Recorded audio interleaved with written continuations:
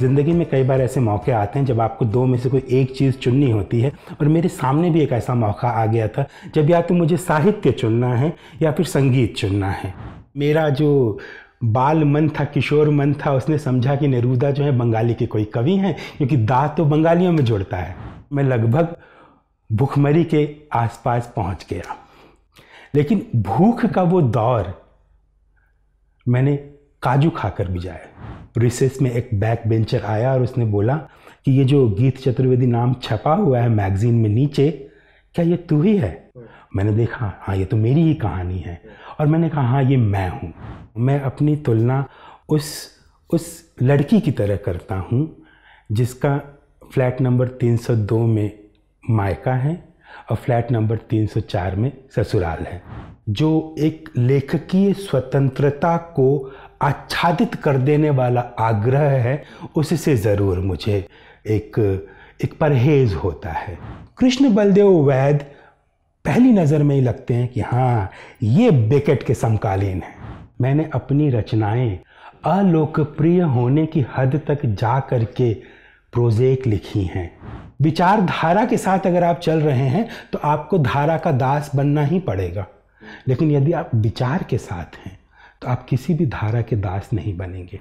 Grant, अगर हम उसे उपन्यास में तब्दील ना भी करते तो भी अनीता गोपालन को वो ग्रांट ऑलरेडी मिल चुका था। आपने ना बहुत ही चतुराई से मेरे चारों प्रिय लेखकों का नाम ले लिया। मैंने अपने लिए एक ना निजी कैनन बना रखा है, बो मा को पा। शाम के सात, साढ़े सात बजे भावना के घर पहुँचे कॉलबिल बजाई और जैसे ही दरवाज़ा खुला, टीवी पे माधुरी दीक्षित गाना गा रही थी, मेरा पिया घर आया, ओ राम जी। नमस्कार, स्वागत है आपका संगत में, मेरा नाम है अंजुम शर्मा। आज मेरे साथ एक ऐसे कवि, कथाकार, विचारक, आलोचक हैं, जो कहते हैं कि भाषा हड़प्पा की गलियों की तरह होती है और प्यार मेसोपोटामिया की गलियों की तरह। जिनके खुशियों के गुप्तचर टेबल लैंप लगाकर अधूरी चीज़ों के देवताओं को खोजते हैं। हाल ही में उनका एक नया उपन्यास आया है सिम सिम। मैं बात कर रहा हूँ गीत चतुर्वेदी की। बहुत बहुत स्वागत है गीत जी। बहुत शुक्रिया आपका अंजुम जी। दूसरी बार मिल रहे हैं। जी हाँ। और ये एपिसोड भोपाल में शूट हो रहा है। कब से भोपाल में रह रहे हैं? मुझे भोपाल में रहते हुए मैं 2009 में दूसरी बार हम्म। दूसरी पारी में भोपाल रहने आया था। उससे पहले 2005 2006 में दो साल का वक्त मैंने भोपाल में गुजारा था हम्म। तो दूसरी पारी में तो 2009 से अब तक कितना तेरह चौदह साल हो गए हैं हम्म। भोपाल से पहले आप बम्बई में रहते थे वहीं पर पैदा हुए और वहीं पर आप आ, युवा होते हुए आपने बम्बई को बदलते हुए भी देखा होगा अपने सामने कई बार हम अपने बचपन के शहरों को कभी अपनी पीठ पर तो कब कभी अपने दिल में बसाकर घूमते हैं। आपके लिए बम्बई की क्या यादें हैं जो अभी भी आपको कौंधती होंगी? बम्बई के ठीक बाद मैं भोपाल नहीं आया था। बम्बई और भोपाल के बीच में एक बहुत लंबा अंतराल था जिसमें कई सारे शहर मेरे ख्याल से तेरह चौदह शहरों में उस दौरान में रहा था। मुंबई जो है वो मेरी स्मृतियों का शहर है क्योंकि बचपन वहीं बीता परिवार वहीं था। सब कुछ मेरे साथ जो भी जीवन में महत्वपूर्ण होना था। हम्म। प्यार मोहब्बत पढ़ाई लिखाई शादी ब्याह सब कुछ मुंबई में हुआ। तो मुंबई को मैं इस तरह याद करता हूँ। जैसे अपना पूरा का पूरा परिवार है मेरा हम चार भाई बहन थे। मुझसे बड़ी सबसे बड़ी मेरी बहन थी फिर मेरे बड़े भाई फिर मैं और फिर मेरी छोटी बहन।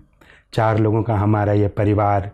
और माता पिता पूरे घर में किताबें ही किताबें होती थी संगीत के कुछ उपकरण होते थे।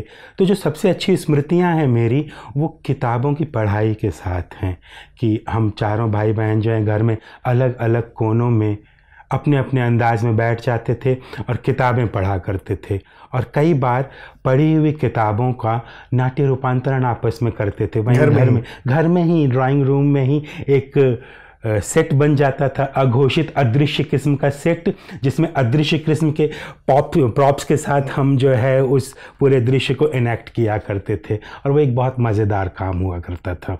और फिर जब रात होती थी और आस पड़ोस के और भी लोग जमा होते थे तो फिर भूतों की कहानियाँ होती थी। अभी भी मैं पिछले दिनों मुंबई गया हुआ था अभी चार से पाँच दिन पहले ही मैं लौट करके आया हूँ।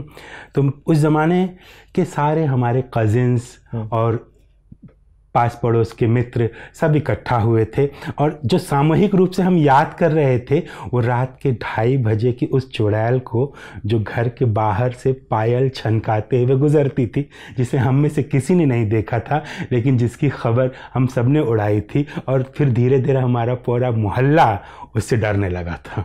तो वो एक एक अलग किस्म का रोमांच था। इस तरह की बहुत सारी कहानियाँ छोटे छोटे किस्से के स्मृति में हैं। ये तो बचपन की बातें हो गई सारी की हम्म, हम्म, सारी। हम्म। बड़े हो रहे होंगे आपकी पढ़ाई चूँकि वहीं पर हुई है। और मैंने सुना आप एक रॉक बैंड भी खोलना चाहते थे हाँ, हाँ बनाना हाँ, चाहते थे। हाँ, हाँ, वो तमाम चीज़ों के बारे में भी थोड़ा बताइए किस तरीके से वो बदलता हुआ पूरा अपने मतलब चुड़ैल से लेकर जो अदृश्य चुड़ैल थी वहाँ से लेकर और रॉक बैंड बनाने तक का वो जो सफ़र था। हाँ हाँ। वो एक जाग जागता हुआ भूत जो था। संगीत के साथ हम लोगों का रिश्ता ना घर से ही बन गया था क्योंकि मेरे पिताजी साहित्य और संगीत दोनों से जुड़े हुए थे। वो बहुत अच्छा तबला बजाते थे बहुत अच्छी बांसुरी बजाते थे। तो ये जो कान में जो स्वर लहरियाँ पढ़ना था वो उस मतलब बिल्कुल बचपन से शुरू हो चुका था। और जैसे ही हम थोड़ा सा होश संभालने लायक हुए, हमारा जुड़ाव हो गया पश्चिमी संगीत के साथ, क्योंकि हमारे, खासकर मेरे बड़े भाई, मेरी संगीत की शिक्षा, मेरी क्रिकेट की शिक्षा, मेरी किताबों की शिक्षा, ये सब मेरे बड़े भाई की तरफ़ से बहुत हद तक आई और उनका एक्सपोजर था वो पश्चिमी शास्त्र पश्चिमी रॉक म्यूज़िक की तरफ़ और उनकी संगत में रह करके मुझे वो संगीत अच्छा लगने लगा। और एक आकांक्षा मेरे भीतर ये बन गई थी कि मेरा अपना खुद का एक रॉक बैंड हो। हमने एक रॉक बैंड लगभग बना भी लिया था जिसमें हम गाने खुद लिखते थे गिटार पर अपने गाने कंपोज किया करते थे और मुंबई में सड़क के डिवाइडर जो होते हैं वो खूब चौड़े चौड़े होते हैं। तो हम कई बार उस सड़क के डिवाइडर पर बैठ करके वहाँ छोटा मोटा शो करते थे परफॉर्म करते थे और लोग वहाँ जमा होकर के उसको सुन भी लेते थे। आप गाते थे? हाँ मैं गाता था। अभी भी गाते हैं? नहीं अब नहीं गाता हूँ। कहूँगा नहीं। मुझे अंदाज़ा था इसीलिए मैंने तुरंत कहा। मैंने क्योंकि हाँ। क्योंकि एक समय के बाद ना मुझे ये एहसास होने लगा। देखिए ज़िंदगी में कई बार ऐसे मौके आते हैं जब आपको दो में से कोई एक चीज़ चुननी होती है और मेरे सामने भी एक ऐसा मौका आ गया था जब या तो मुझे साहित्य चुनना है या फिर संगीत चुनना है। दोनों के साथ जुड़ाव मेरा लगभग एक साथ में हुआ था। लेकिन संगीत बहुत खर्चीला शौक़ है। आप आपके पास बहुत उपकरण होने चाहिए आपके पास रिकॉर्डिंग की सुविधाएँ होनी चाहिए आपके पास इतना इतनी लक्शरी होनी चाहिए कि आप उसके अंदर पूरी तरह इन्वॉल्व हो सकें हम्म, हम्म। तो हम उस तरह उन चीज़ों को उस तरह से अफोर्ड नहीं कर सकते थे और साहित्य जो था वो कई बार बिना किताब के यानी किसी दूसरे से किताब उधार ले हम्म। करके भी इस शौक़ को पूरा किया जा सकता था किताबें तो हमारे यहाँ अफरात में थी लेकिन हम नई चीज़ों को दूसरों से इस तरह प्राप्त कर लिया करते थे। पिता लिखते थे? हाँ पिताजी लिखते थे मेरे। और संगीत भी? संगीत भी करते थे वो। उन्होंने खूब सुंदर कविताएँ लिखी थी अपने दौर में जो उस दौर में जो टाइम्स ऑफ़ इंडिया की मैगजीन्स थी सारिका धर्मयुग माधुरी इनमें उनकी रचनाएँ खूब प्रकाशित हुई थी। हालाँकि वो अपनी रचनाओं को लेकर के बहुत ही संकोची रहते थे और बहुत उसे दूर तक ले जाने के लिए कुछ ज़्यादा सोचते नहीं थे लेकिन उनकी रचनाएँ अपने समय की अच्छी पत्रिकाओं में प्रकाशित होती थी। तो कह सकते हैं कि संगीत और साहित्य हाँ। दोनों पिता के तरफ़ से पिता की तरफ़ से आए जिसको कह सकते हैं कि खून में था खून में था। हम्म, हम्म। और माँ की तरफ़ से क्या आया? कुछ चीज़ें रही होंगी जो माँ से आपने ली होंगी। माँ की तरफ़ से मासूमियत आई माँ की तरफ़ से भोलापन आया। माँ की तरफ़ से चीज़ों को चीज़ों के साथ प्यार करने की जो सलाहियत है जो कुवत है वो आया। कितने बहन भाई आप? मेरी सबसे बड़ी बहन फिर उनसे बड़े उनसे छोटे भाई फिर मैं फिर मेरी छोटी बहन। तो हम चार थे कुल। और सब साहित्य पढ़ते थे सब संगीत? नहीं साहित्य सब नहीं पढ़ते थे। साहित्य उनमें से मैं पढ़ता था। किताबें सब पढ़ते थे। वो पूरा दौर जो था, वो सर्कुलेटिंग लाइब्रेरीज़ का था। हमारे बचपन में जो है, मुंबई में एक चीज़ बहुत सुंदर थी, वहाँ ने ठेलों पर लाइब्रेरी लगा करती थी और वो सर्कुलेटिंग होती थी। आप उनकी मेंबरशिप ले लीजिए तो उनके पास नई किताबें होती थी। आप हफ़्ते भर के लिए किताब लीजिए, पच्चीस पैसा किराया दीजिए और किताबों को पढ़ करके लौटा दीजिए। तो हमारे यहाँ ऐसी कई लाइब्रेरीज़ की मेम्बरशिप थी। ये सवाल मैं इसलिए पूछ रहा था कि मैं चाह रहा था आप खुद बताएँ, लेकिन मुझे मतलब थोड़ा सा और अंदर जाना पड़ेगा। मैंने पढ़ा ये और या जाना ये हम्म, हम्म। कि आपके भाई या बहन जासूसी उपन्यास संभवतः पढ़ रहे थे वही मैं सुनाने जा रहा था। वही बात। तो हमारे यहाँ सर्कुलेटिंग सर्कुलेटिंग लाइब्रेरी से किताबें आती थी और वो दोनों बैठ करके जासूसी उपन्यास पढ़ा करते थे। हम्म। मेरे बड़े भाई और मेरी बड़ी बहन सुरेंद्र मोहन पाठक वेद प्रकाश शर्मा और इस तरह के तमाम जो नाम उस समय बड़े प्रचलित थे। और मैं उन्हें पढ़ना चाहता था। और चूँकि ये लोग उसको इनेक्ट भी करते थे ना तो उसको सुन करके अपने मन में एक इच्छा जागती थी कि आह ये कौन सा विमल सीरीज़ है कौन सा सुनील सुधीर पता नहीं क्या क्या है इसे मैं जानूँ? एक आध बार मैंने उठाई भी वो किताब। पढ़ना चाहा मैंने लेकिन उन्होंने मुझे डांट दिया। बोला कि नहीं ये सब तुम्हारे लिए नहीं है। तुम अच्छे बच्चे हो तुमको प्रेमचंद पढ़ना चाहिए। तो तब से मेरे दिमाग में ये बात घुस गई कि जो अच्छे बच्चे होते हैं वो प्रेमचंद पढ़ते हैं। तो धीरे से यानी बहुत इशारे में उन लोगों ने मुझे उस कॉमर्शियल लिटरेचर से दूर कर दिया और क्लासिक लिटरेचर के करीब खड़ा कर दिया। तो मुझे जब पढ़ना होता है तो मैं सर्कुलेटिंग लाइब्रेरी से प्रेमचंद लेता। हालाँकि प्रेमचंद ऑलमोस्ट हमारे घर में उपलब्ध थे, लेकिन और दूसरी किताबें, जैसे कामायनी लेकर आया था। कामायनी उस उम्र में मुझे बहुत कुछ कंठस्थ थी, बहुत कुछ याद थी। समझ में ज़्यादा आता नहीं था क्योंकि वो अद्वैत वेदांत का जो सिद्धांत है या जिस जिस दर्शन के ऊपर पूरी कामायनी टिकी हुई है वो तो बहुत बाद में अध्ययन करने के बाद समझ में आई। लेकिन वो जो लय थी वो जो गीतात्मकता है कामायनी की और शब्द के साथ जो क्रीड़ा है वो उस उम्र में भी पकड़ के रखती थी मुझे। और थोड़ा सा आगे बढ़ते हैं इस सब के बाद। आ, इसके बाद आप पार्ट टाइम नौकरियाँ करने लगे जब बड़े हुए तो। हाँ हाँ हाँ हाँ। कॉलेज के समय में हाँ, हाँ, आपने हाँ। पार्ट टाइम नौकरियाँ की। हमने पार्ट टाइम नौकरियाँ भी की क्योंकि एक तो हमारा परिवार जो था वो हमेशा अभावों से घिरा रहता था। हम बहुत संपन्न नहीं थे और कुछ न कुछ ज़रूरत हमेशा लगी रहती थी। तो पढ़ाई के साथ साथ हमने नौकरियाँ भी की लेकिन एक चीज़ बहुत सुंदर है जो अब भी मैं याद करता हूँ कि तमाम संघर्षों के बाद भी हम चारों भाई बहन उस पूरे दौर में हँसते खिलखिलाते ठठाते रहते थे। हमेशा हमें लगता था कि हम बहुत खुश हैं। और अब जब मैं खुद माता पिता मतलब मैं खुद बच्चों का पिता बन गया हूँ और उस पूरे दौर को याद करता हूँ। तो मुझे लगता है ये इसलिए था क्योंकि मेरे माता और मेरे पिता एक दूसरे से बहुत प्यार करते थे। और वो इतना प्यार करते थे कि हर समय साथ रहते थे। हम उन्हें लव बर्ड्स कहा करते थे। तो एक दूसरे के प्रति प्यार और सम्मान के कारण तमाम अभावों और संघर्षों के बावजूद घर का माहौल उन लोगों ने बहुत खुशनुमा बना के रखा था। तो चीज़ें हम तक बहुत फ़िल्टर होकर के पहुँचती थी। दुख हम तक छन करके पहुँचते थे। तो हमारी त्वचा पर दुखों के वैसे निशान बनते ही नहीं थे।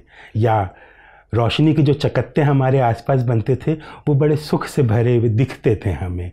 तो ये बात मुझे उस दौर को अभाव याद में भी अभाव महसूस नहीं होता था। भाव में भाव महसूस नहीं होता था क्योंकि होता है ना प्रेम आपको बहुत सारी बहुत सारी तकलीफ़ों के एहसास से बचा ले जाता है। तो नौकरी कर रहे थे पार्ट टाइम आप और एक समय ऐसा आया कि आपको मुंबई छोड़नी पड़ी। जी हम्म हम्म। जब मुंबई छोड़ रहे थे हाँ हाँ। वो प्रभाव वो छोड़ने का जो प्रभाव है वो जो दूर होने का प्रभाव है हाँ। वो आपके ऊपर या आपके लेखन पे किस तरीके से पड़ा और उसने क्या दिया? ये मैं तेईस साल का हो गया था तब रोज़गार की तलाश में मैंने मुंबई छोड़ी। और वो जीवन का सबसे मुश्किल समय भी था क्योंकि जिस शहर में मेरा सब कुछ है, मेरा परिवार है, मेरा, मेरे सारे मित्र, यार, दोस्त हैं। उसको छोड़ना और किसी एक अनजान शहर में जाके सेटल होना, ये एहसास ही मुझे अंदर ही अंदर खाया जा रहा था। लेकिन फिर भी बहुत ज़रूरत थी, क्योंकि नौकरी तो चाहिए थी। तो मुंबई से मैं इंदौर आया और एक बहुत दिलचस्प किस्सा है मैं अपने बच्चों को सुनाता भी हूँ तो वो हँसते भी हैं कि वहाँ आते ही मेरे साथ एक ऐसा संघर्ष शुरू हुआ कि मैं लगभग भूखमरी के आसपास पहुँच गया। लेकिन भूख का वो दौर मैंने काजू खाकर भी जाए यानी मेरे पास खाने के लिए रोटी नहीं थी और आप काजू खा रहे लेकिन मैं काजू खा रहा था। ये एक अलग किस्म का विरोधाभास है। मेरे पास पैसे थे नहीं मुंबई से निकलते समय कुछ पैसे यहाँ वहाँ से जो मैंने भावना से जो मेरी पत्नी है उनसे लिए थे। और भावना का एक भाई जो है वो गोवा से काजू के दो पैकेट लेकर के आया था। तो मुंबई से इंदौर निकलते समय विवाह हो चुका था। विवाह हो चुका था। विवाह के छः महीने बीत चुके थे तब तक। तो मुंबई से इंदौर जाते समय भावना ने मुझे वो दोनों पैकेट काजू के पकड़ा दिए। मेरे ख्याल से आधा आधा किलो के पैकेट थे दो। और जब मैं इंदौर पहुँचा और वहाँ तीन चार दिन होटल में रुका और फिर उसके बाद अपने लिए किराए का मकान ढूंढा और उसको एडवांस दिया और कुछ और चीज़ें ख़रीदी। उन सब में मेरे सारे पैसे कम हो गए ख़त्म हो गए। बहुत कम पैसे बचे। तो वो इतने नहीं थे कि मैं अगले एक महीने तक खाना खा सकूँ। हम्म। मेरे पास मुझे उस समय सिगरेट की लत हुआ करती थी। हम्म। तो मैंने सावधानी वश कुछ सिगरेट के पैकेट्स खरीद कर रख लिए थे। मुझे चाय पीने की गहरी लत थी तो चाय वाले के साथ बातचीत हो गई थी। लेकिन मेरे पास खाना खाने का, खाना खाने के लिए पैसे नहीं बचते थे। तनख्वाह आने में अभी पैंतीस दिन बचे हुए थे। तो मैंने उन काजू को इस्तेमाल करना शुरू किया, काजू खाना शुरू किया और लगभग 20-25 दिन तक मैंने प्रॉपर खाना खाने के बजाय सिर्फ़ सुबह थोड़ी सी काजू दोपहर को थोड़े से काजू शाम को थोड़े से काजू इसी तरह खा खा के और सिगरेट पी पी करके अपना पूरा समय गुजारा पच्चीस दिन बाद जब मैं फिर मुंबई पहुँचा हाँ। किसी काम के लिए किसी कार्यक्रम के लिए और इंदौर में अखबार से छुट्टी मांगी कि मुझे तीन दिन की छुट्टी दे दी जाए तो जब मैं मुंबई पहुँचा तो मेरा वज़न जो है वो सात या आठ किलो घट चुका था उस पूरे तौर पच्चीस दिन के पीरियड में तो कभी कभी मैं परिहास में कहता हूँ कि वो जो संघर्ष का दौर है ये अजब किस्म का योग है कि रहना तो भूखे है लेकिन उस भूख को मिटाने के लिए काजू खाना है। तो ये बिल्कुल एक अलग अलग किस्म का विरोधाभास कभी कभी हास्यास्पद और कभी कभी बहुत ही प्रेरक। हम्म। क्योंकि ये अनयूजुअल है ना बिल्कुल अलग। साहित्य की तरफ़ आता हूँ ये तो हुई। आपके संघर्ष की दौर की कहानी। तेरह साल के थे जब पहली कहानी छपती है आपकी बच्चों की। हाँ हाँ। उस तेरह साल की उम्र में कहानी छपने ने कितना आत्मविश्वास जगाया होगा? क्योंकि आप लिख तो कहानी रहे थे। फिर कविताओं की तरफ़ कैसे मुड़ गए? पहली तो कहानी थी, बच्चों की कहानी थी। वो मैंने लिखी। उसके लिए मुझे बड़ी, मेरी बड़ी बहन ने प्रेरित किया था। उन्हें लगता था कि मेरे भीतर लेखन के गुण हैं और उन गुणों का विकास करना चाहिए। वो मुझे हमेशा प्रोत्साहित करती रहती थी। मैंने वो कहानी लिखी, किसी को उसके बारे में नहीं बताया। फुल स्केप कागज़ पे दर्ज हाँ। किया और टिंकल में छपने के लिए भेज दी और जब वो छप कर आई मैं क्लासरूम में बैठा हुआ था नाइन्थ में था बैक बेंचर्स जो हैं वो क्लास के दौरान कॉमिक्स या मैगजीन्स पढ़ा करते थे रिसेस में एक बैक बेंचर आया और उसने बोला कि ये जो गीत चतुर्वेदी नाम छपा हुआ है मैगजीन में नीचे क्या ये तू ही है हाँ। मैंने देखा हाँ ये तो मेरी ही कहानी है हाँ। और मैंने कहा हाँ ये मैं हूँ और फिर मैं बहुत देर तक उस किताब को, उस पन्ने को सहलाता रहा और तब पहली बार मुझे ये महसूस हुआ कि भाषा के साथ मेरा एक रचनात्मक रिश्ता बन सकता है, कि भाषा जो है वो मेरे लिए त्वचा की तरह है, कि जब कोई किसी चीज़ पर, जब कोई भाषा का गलत प्रयोग करता है तो मुझे वैसा ही दर्द या वैसी ही तकलीफ़ होती है, जैसे त्वचा पे सुई कोई चुभा रहा हो हम्म। तब होता हो। तो त्वचा वाला रिश्ता भाषा के साथ ओढ़ने बिछाने वाला रिश्ता वहाँ महसूस हुआ। और निश्चित ही जब तेरह साल की उम्र में आपकी पहली रचना छप जाए पहली कहानी छप जाए वो भी ऐसी जगह पे टिंकल में जिसके संपादक अंकल पै हों जिनके बारे में ये मशहूर हो कि वो मिलने वाली रचनाओं में से निन्यानवे प्रतिशत रचनाओं को रिजेक्ट कर दिया करते थे तो अपने आप में ये आत्मविश्वास तो बढ़ना ही था। अनंत पाई अनंत पाई अनंत पाई हाँ हाँ। तो उन्हें तो मैं बहुत श्रद्धा से याद करता हूँ अनंत पाई को।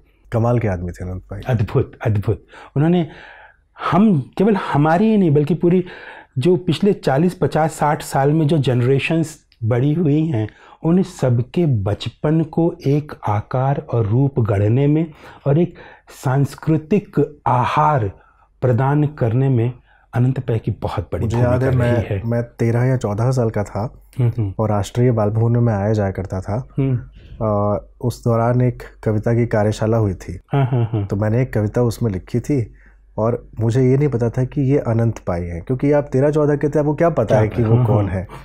तो उन्होंने बोला कि मैं तीन कविताएँ रचनाएँ लेकर जा रहा हूँ और ये छपेंगी। मुझे लगा होंगे कोई ले गए होंगे। थोड़े दिनों बाद जब वो छपी तो वो टिंकल में छपी। हाँ हाँ हाँ तो मैंने कहा तो टिंकल में छपी है टिंकल तो हम पढ़ते हैं। फिर मुझे पता लगा जो बैठे थे वही टिंकल संभालते हैं। तो वो और इतने सालों बाद जब हम सोचते हैं कि अच्छा अनंत पाई ने भी एक पूरा का पूरा बाल साहित्य वाला एक पूरा युग जो है उसको दिशा देने का काम किया था। अद्भुत काम है। अद्भुत उनके काम उनके है। योगदान को तो यहीं से ही प्रणाम हम्म। ज़रूर करना चाहिए। सत्रह की उम्र में फिर कविता की तरफ़ आए। हाँ क्योंकि वो तेरह के बाद जो है मेरा एक्सपोजर बढ़ गया। हम्म, आत्मविश्वास बढ़ गया। मैं अपने आसपास घर परिवार खानदान कुनबा रिश्तेदारों सब में एक अच्छी खासी शोहरत मुझे मिल गई थी। और किताबों के साथ तो चूँकि मेरा रिश्ता था ही। मैं कहानियों पर भी काम करता था हम्म। क्योंकि मुझे ऐसा लगता था कि मैं कहीं ना कहीं अंदर से गद्य के ज़्यादा करीब हूँ लेकिन कविताएँ मुझे बहुत आकर्षित करती थीं और मैं कविताओं से इसलिए भी जुड़ाव महसूस करना चाहता था क्योंकि मैं बहुत ज़्यादा समय लिखने में नहीं लगा पा रहा था तो कविताएँ खूब सारी लिखी और हालाँकि मैं खुद ही लिख लिख करके उन्हें रिजेक्ट कर दिया करता था क्योंकि वो वो बात वो चीज़ें महसूस नहीं होती थी। और जब सत्रह की उम्र में ऐसा लगा कि कुछ एक एक आध दो चार चीज़ अच्छी बन गई है तो मैंने उसे छपने के लिए भेजा जनसत्ता में पहली मेरी कविता प्रकाशित हुई। और जब जनसत्ता में पहली बार प्रकाशित हुई तो वो भी एक बहुत शानदार बहुत सुंदर अनुभव हुआ वो क्योंकि उस ज़माने में तो ऐसा था नहीं सिर्फ़ अखबार ही थे वो सबसे बड़े मीडियम थे और जनसत्ता उस ज़माने में खूब पढ़ा जाता था उसमें कविताएँ छप जाना मतलब आप साहित्य में आपकी बाकायदा एंट्री हो गई है ऐसा मान लिया जाता था। तो जो मुंबई का साहित्यिक समाज है हाँ। उसने मुझे हाथों हाथ लिया। और जो आम लोग थे जैसे जनसत्ता जो है ना नाई की दुकान में बहुत मिलता था। तो जिस दिन मेरी कविता छपी थी संडे को रविवार को उसी दिन मैं बाल कटाने गया हुआ था। तो थोड़ी देर में वहाँ मौजूद तमाम लोगों ने मुझे पहचानना शुरू कर दिया। तो जो शोहरत जो घर परिवार रिश्तेदार के बीच थी वो अचानक जो है बाहर दिखने लगी मुझे। फिर मैं जब दूसरे दिन कॉलेज वगैरह गया लोकल ट्रेन में वहाँ मुझे दो चार पाँच लोगों ने पहचानना शुरू कर दिया। इस तरह ये जो रिकग्निशन है हम्म। ये मिलनी शुरू हुई और उसने जो है अंततः आकर्षित करना शुरू किया। कैसे तय कर पा रहे थे गीत जी कि ये जो मेरे भीतर भाव आ रहे हैं सत्रह की उम्र में पंद्रह की उम्र में ये मैं कहानी की तरफ़ लेकर जाऊँगा ये मैं कविता की तरफ़ लेकर जाऊँगा? कई बार मैं दोनों प्रयास करता था। एक ही चीज़ को कविता बनाने की भी कोशिश करता था और उन्हीं चीज़ों को संवादों और चरित्रों के माध्यम से बुनकर कहानी में भी कन्वर्ट करने की कोशिश करता था। तो जो चीज़ जिस तरह से सफल बन जाती थी अक्सर कहानियाँ नाकाम हो जाती थी। वो कुछ पैराग्राफ्स के बाद फैल जाती थी हाथ से बाहर निकल जाती थी। उसी समय ये एहसास हो जाता था कि ना ये चीज़ जो है शायद कविता के लिए बनी है। फिर ये बात बहुत बाद में उस समय तो बस एक एक्सपेरिमेंट के तौर पर ये कर रहा था मैं लेकिन ये बात बहुत बाद में समझ में आई कि ये कुछ पलों की बात होती है। कविता एक एक एक नन्हे प्रकाश को जो है पकड़ने वाली बात है। मतलब ऐसे समझिए कि हम एक अंधकार से भरे हुए कमरे में घुसे हैं हम्म। और हमने माचिस की एक तीली जलाई और उस तीली की रोशनी में पूरे कमरे को देखने की कोशिश की। पूरा कमरा तो नहीं दिखाई दिया लेकिन तीली के आसपास का छोटा सा परिवेश हमको दिख दिख, दिख गया। वो कविता है। और वो कितनी देर तक चला? चार पाँच सेकंड्स तक। तो ये माचिस की तीली से जला के देखा गया संसार कई बार कविता जैसा है। और कहानी ये क्या है कि आपने ये कहानी या उपन्यास क्या है कि आप कमरे में घुसे और आपने बटन ऑन किया लाइट ऑन हो गई। तो लाइट ऑन होते ही पूरा कमरा रोशन हो गया आपको हर चीज़ दिखने लग गई। लेकिन कभी कभी वो जो तीली का जो आप हिस्सा कह रहे हैं हाँ, जो छोटी सी जो लौ होती है हम्म, हम्म। आसपास का वो भी कभी कभी बहुत विराट होती है। जैसे राम की शक्ति पूजा जैसे वही तो कह। रहा वही हाँ, मैं भी कहने जा रहा हूँ कि सूक्ष्मता हम्म, चीज़ों का दुनिया का सूक्ष्म विवरण भले कविता में न दिखाई दे लेकिन वो जो स्फुरन है वो जो अचानक अंधकार को चुनौती देती हुई छोटी सी जो ज्योति है माचिस की वो स्मृति में ज़्यादा देर तक रह जाती है। वो बिल्कुल वैसा है कि एक पल के लिए अंधकार मिटता है रोशनी आती है और फ्रेम पर चित्र बन जाता है। हम्म, जैसे फ्लैश होता है बिल्कुल उस तरह का काम। तो वह हमारी स्मृति को हमारी संवेदनाओं को हमारे पूरी समझ को बहुत देर तक झिझोड़ती है वो छोटी सी ज्योति। उस ज्योति के प्रति मेरा आकर्षण लगातार बढ़ता चला गया क्योंकि उस ज्योति को पकड़ना अपने आप में सबसे बड़ी चुनौती थी। तो कहानियाँ लिख रहे थे कविताएँ लिख रहे थे। आधार अगर पूछा जाए कि गीत चतुर्वेदी अपने मूल में क्या है, वो कवि हैं कि कथाकार हैं? क्योंकि हर आदमी दोनों चीज़ें एक साथ नहीं साधता है। कभी कभी बहुत बहुत अमूमन पहले लोग कवि जो होते हैं, कविताएँ ही लिखते हैं, गद्य फिर लिखते हैं, या फिर जो गद्यकार होता है, खूब गद्य लिखता है, फिर सोचता है, लाइए कविता में हाथ आजमा लिया जाए। आप दोनों चीज़ें साध रहे थे तो मूल है क्या? पता नहीं, लेकिन इस तरह से कहें, देखिए टेक्निकली तो पहली चीज़ जो प्रकाशित हुई वो बच्चों की कहानी थी। हाँ। लेकिन इसके साथ में एक बड़े लोगों की कविता भी पहली बार ही प्रकाशित हुई। शायद पहले मन में कुछ और चलता रहा हो क्योंकि लेखक भौतिक रूप से लेखक बाद में बनता है। मन से मानसिक रूप से तो बहुत पहले से लेखक बन चुका होता है। तो कई बार मैं तय नहीं कर पाता हूँ। मैं अपनी तुलना उस उस लड़की की तरह करता हूँ जिसका फ्लैट नंबर 302 में मायका है और फ्लैट नंबर 304 में ससुराल है। बिल्कुल लगा हुआ है। एक जो है उसका गद्य है, मायका उसका गद्य है, ससुराल उसका पद्य है। और वो अपने मायके से ससुराल में इतनी बार आती जाती है कि एक दिन वो भूल जाती है कि उसका मायका क्या था और उसका ससुराल क्या था। दोनों चीज़ें गड्ढमड्ढ हो जाती हैं। तो मेरी स्थिति बिल्कुल वही है। मेरे लिए अभिव्यक्ति बहुत महत्वपूर्ण है। विधाएँ उतनी महत्वपूर्ण नहीं हैं। गीत जी, अभिव्यक्ति समझ में आ गई कि भाई अभिव्यक्ति बहुत ज़रूरी है। लेकिन ये ये बात सत्रह साल की उम्र की थी। लेकिन तीन साल बाद, बीस की उम्र में, आप सब चीज़ों से किनारा करके और एकांत में चले जाते हैं ताकि आप विश्व साहित्य का अध्ययन कर सकें। अभी तक आप भारतीय कविता की तरफ़ थे, भारतीय परंपरा की तरफ़ थे, लेकिन अचानक से आपको लगा कि नहीं, विश्व साहित्य पढ़ना चाहिए। क्यों? हाँ ये एक ये एक बहुत बड़ा परिवर्तन आया था उस समय। सत्रह की उम्र में पहली कविता प्रकाशित होने के बाद जो कविताओं का अगला सेट है वह हिंदी की लगभग सभी अच्छी पत्रिकाओं में प्रकाशित होने लगा। मेरा दूसरा सेट जो है पहल में प्रकाशित हुआ तीसरा समकालीन भारतीय साहित्य में चौथा उद्भावना कवितांक में। तो इस तरह हिंदी का जो समूचा श्रेष्ठ संसार था उसमें मेरा आवागमन बहुत ही सहूलियत के साथ, आसानी के साथ होने लगा और 20 की उम्र तक पहुँचते पहुँचते मेरे पास इतनी कविताएँ हो गई थी प्रकाशित कि मेरे वरिष्ठ कवियों ने मुझसे कहा कि अब तुम्हारा संग्रह आ जाना चाहिए, अब तुम अपनी किताब निकाल दो। लेकिन वो पूरा दौर था, जिस समय मैं लिखने के साथ साथ थोड़ा पढ़ भी रहा था और साहित्य और ख़ासकर विश्व साहित्य के प्रति मेरा एक्सपोजर जो है बढ़ता जा रहा था। कई सारी लाइब्रेरीज़ की सदस्यता तो मेरे पास पहले से थी, लेकिन वो उस दौर में मुंबई में एक जगह है, फ्लोरा फाउंटेन। उसके पास पटरियों पर सेकेंड हैंड किताबें सेकेंड हैंड पत्रिकाएँ खूब बिका करती थीं। तो उन पटरियों पर मुझे समकालीन विश्व साहित्य की पत्रिकाएँ इफरात में मिलनी शुरू हुई। जैसे पेरिस रिव्यू के पुराने अंक मिले न्यूयॉर्कर के पुराने अंक मिले ग्रांटा के पुराने अंक मिले इसी तरह की और पत्रिकाएँ भी। और इनमें प्रकाशित होने वाले साहित्य को और ख़ासकर कविताओं समकालीन वैश्विक कविताओं को पढ़ने के बाद मैं अपनी रचनाओं के प्रति असंतोष से भरने लगा। मेरी कविताएँ, मेरे वरिष्ठ कवि, मेरे वरिष्ठ मित्र, ये तो बहुत पसंद कर रहे थे, लेकिन मैं मन ही मन अपनी तुलना उस समकालीन विश्व कविता के सर्वश्रेष्ठ संचयनों के साथ कर रहा था और असंतोष से भरता चला जा रहा था। तो इसका एक ही उपाय मुझे सूझा, जो राम की शक्ति पूजा में निराला ने कहा है राम के लिए कि छोड़ दो समर, जब तक न सिद्धि हो रघुनंदन।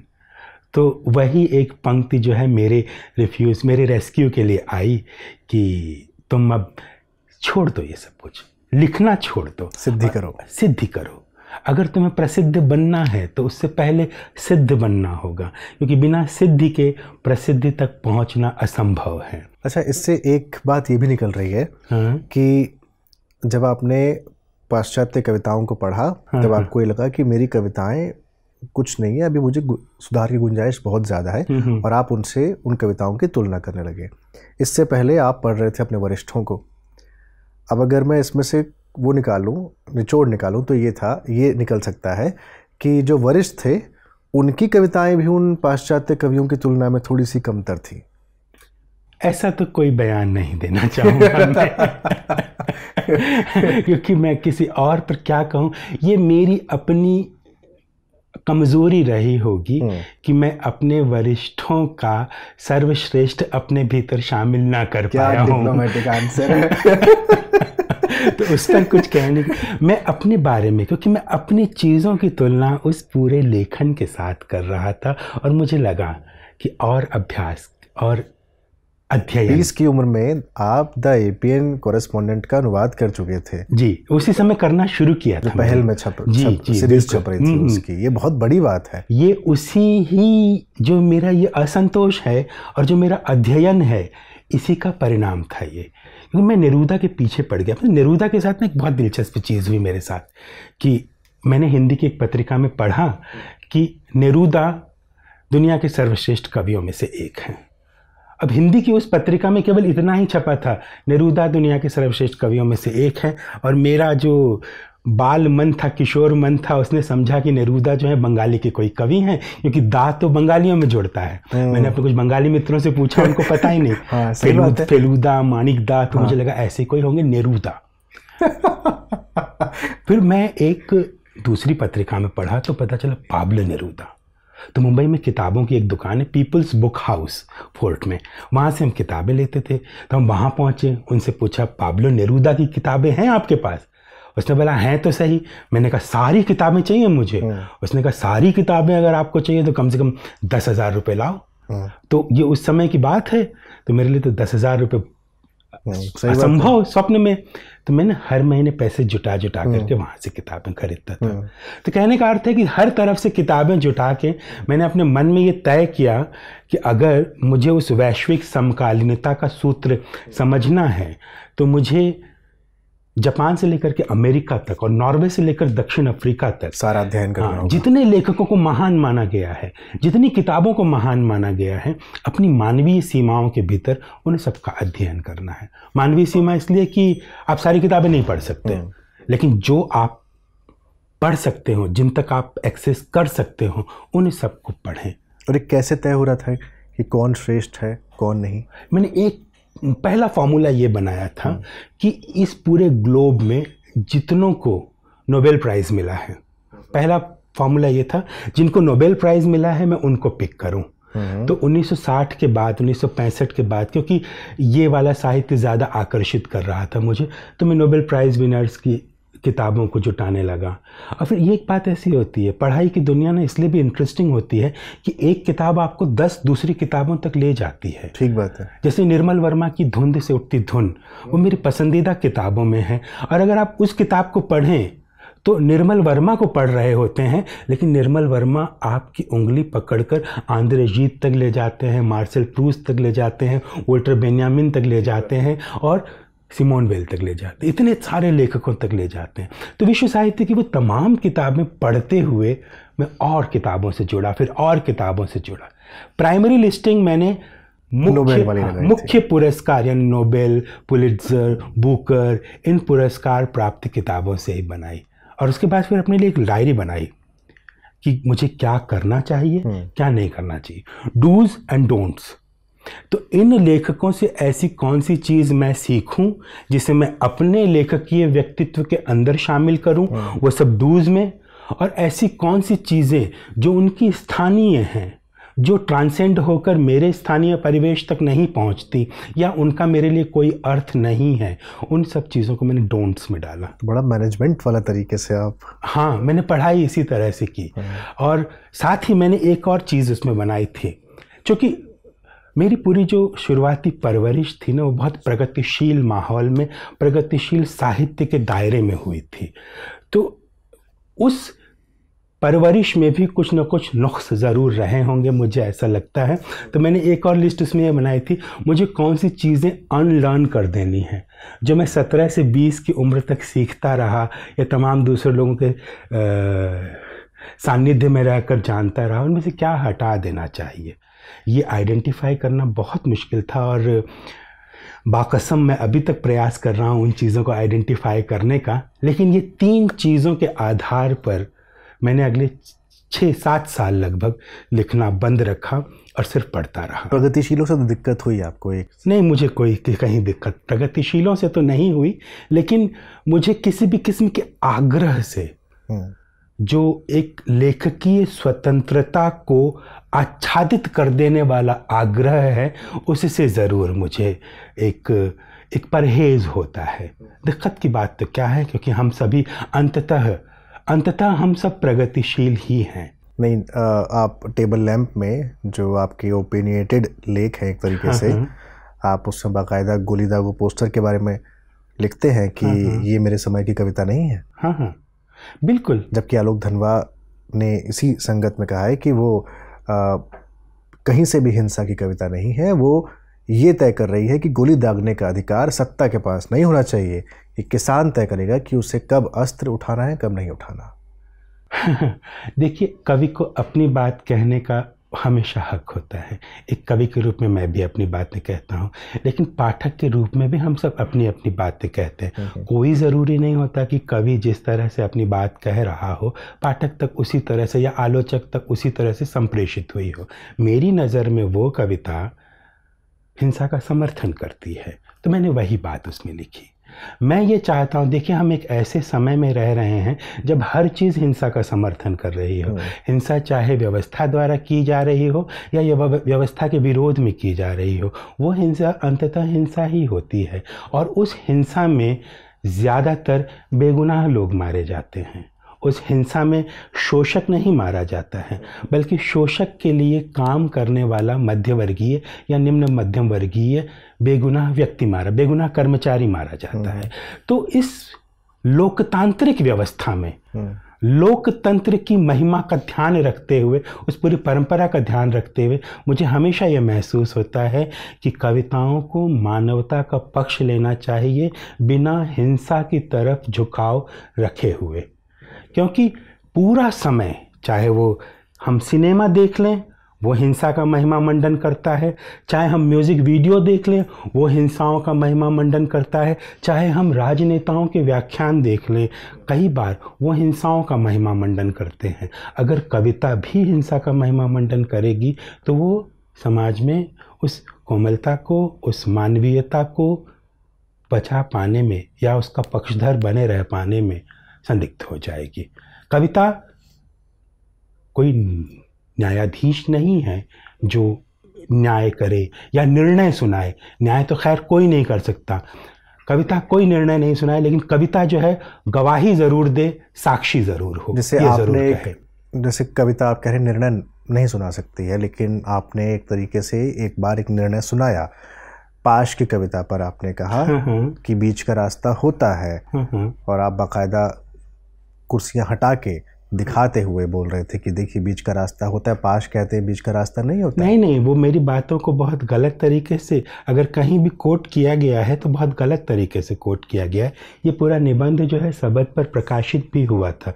और बहुत स्पष्ट अक्षरों में मैंने ये कहा था कि बीच का रास्ता नहीं होता है, ठीक है, लेकिन सारे रास्ते बीच में होते हैं। तो का और मे के बीच के अंतर को जो है, लोगों ने छोड़ दिया। होता ना कई बार कि उद्धरण उद्धृत करने वाले की अपनी सहूलियत को भी दिखाता है। हम्म, हम्म। तो अब आप देखिए इसी वाक्य को सारे रास्ते बीच में होते हैं यानी बाएँ भी कुछ होता है दाएँ भी कुछ होता है। अगर इस तरफ़ कुर्सियाँ हैं और इस तरफ़ दीवार है तो भी रास्ता दीवार और कुर्सी के बीच में ही होगा। तो मैंने पाश की पंक्ति का खंडन नहीं किया था बल्कि पाश की पंक्ति के सम्मुख एक प्रति संसार ही बनाने की कोशिश की थी। उसी परंपरा का हिस्सा बनते हुए कि सारे रास्ते बीच में होते हैं। भले बीच का रास्ता ना होता हो। क्या इसका कारण एक ये है कि आप बौद्ध धर्म के काफ़ी ज़्यादा प्रभाव में आए? हाँ, और जो मध्यम प्रतिपदा का मार्ग है वो हाँ, बीच हाँ, में या बीच, बीच हाँ, हाँ, मध्यम प्रतिपदा के मार्ग को बीच का रास्ता नहीं हाँ, कहा जा सकता लेकिन बीच में वाला बीच रास्ता में ज़रूर कहा जा सकता है।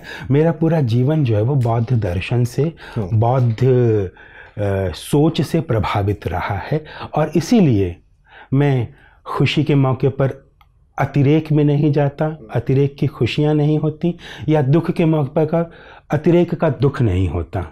मैं अतिरेकों से बच करके बीच के उस सम पर जीवन के उस सम पर टिके रहना चाहता हूँ। और ये उसी की ही एक तरह से अभिव्यक्ति थी हम्म, हम्म। कि रास्ता जो वो बीच में है और उसी पर चलना उसी मध्य मार्ग पर चलना मेरे लिए आ, मेरे लिए वरेण्य है। ठीक। वापस आते हैं। हाँ हाँ। एकांत में थे आपके एकांत में थे। हाँ हाँ। छह या सात साल के लेखक ही एकांत में थे। आपके एकांत में तो ज़ाहिर सी बात है आप ही रहेंगे। हाँ, हाँ। तो वो लेखक ही एकांत में थे जो 2000 से 2006 तक संभवतः रहा होगा छः सात साल का।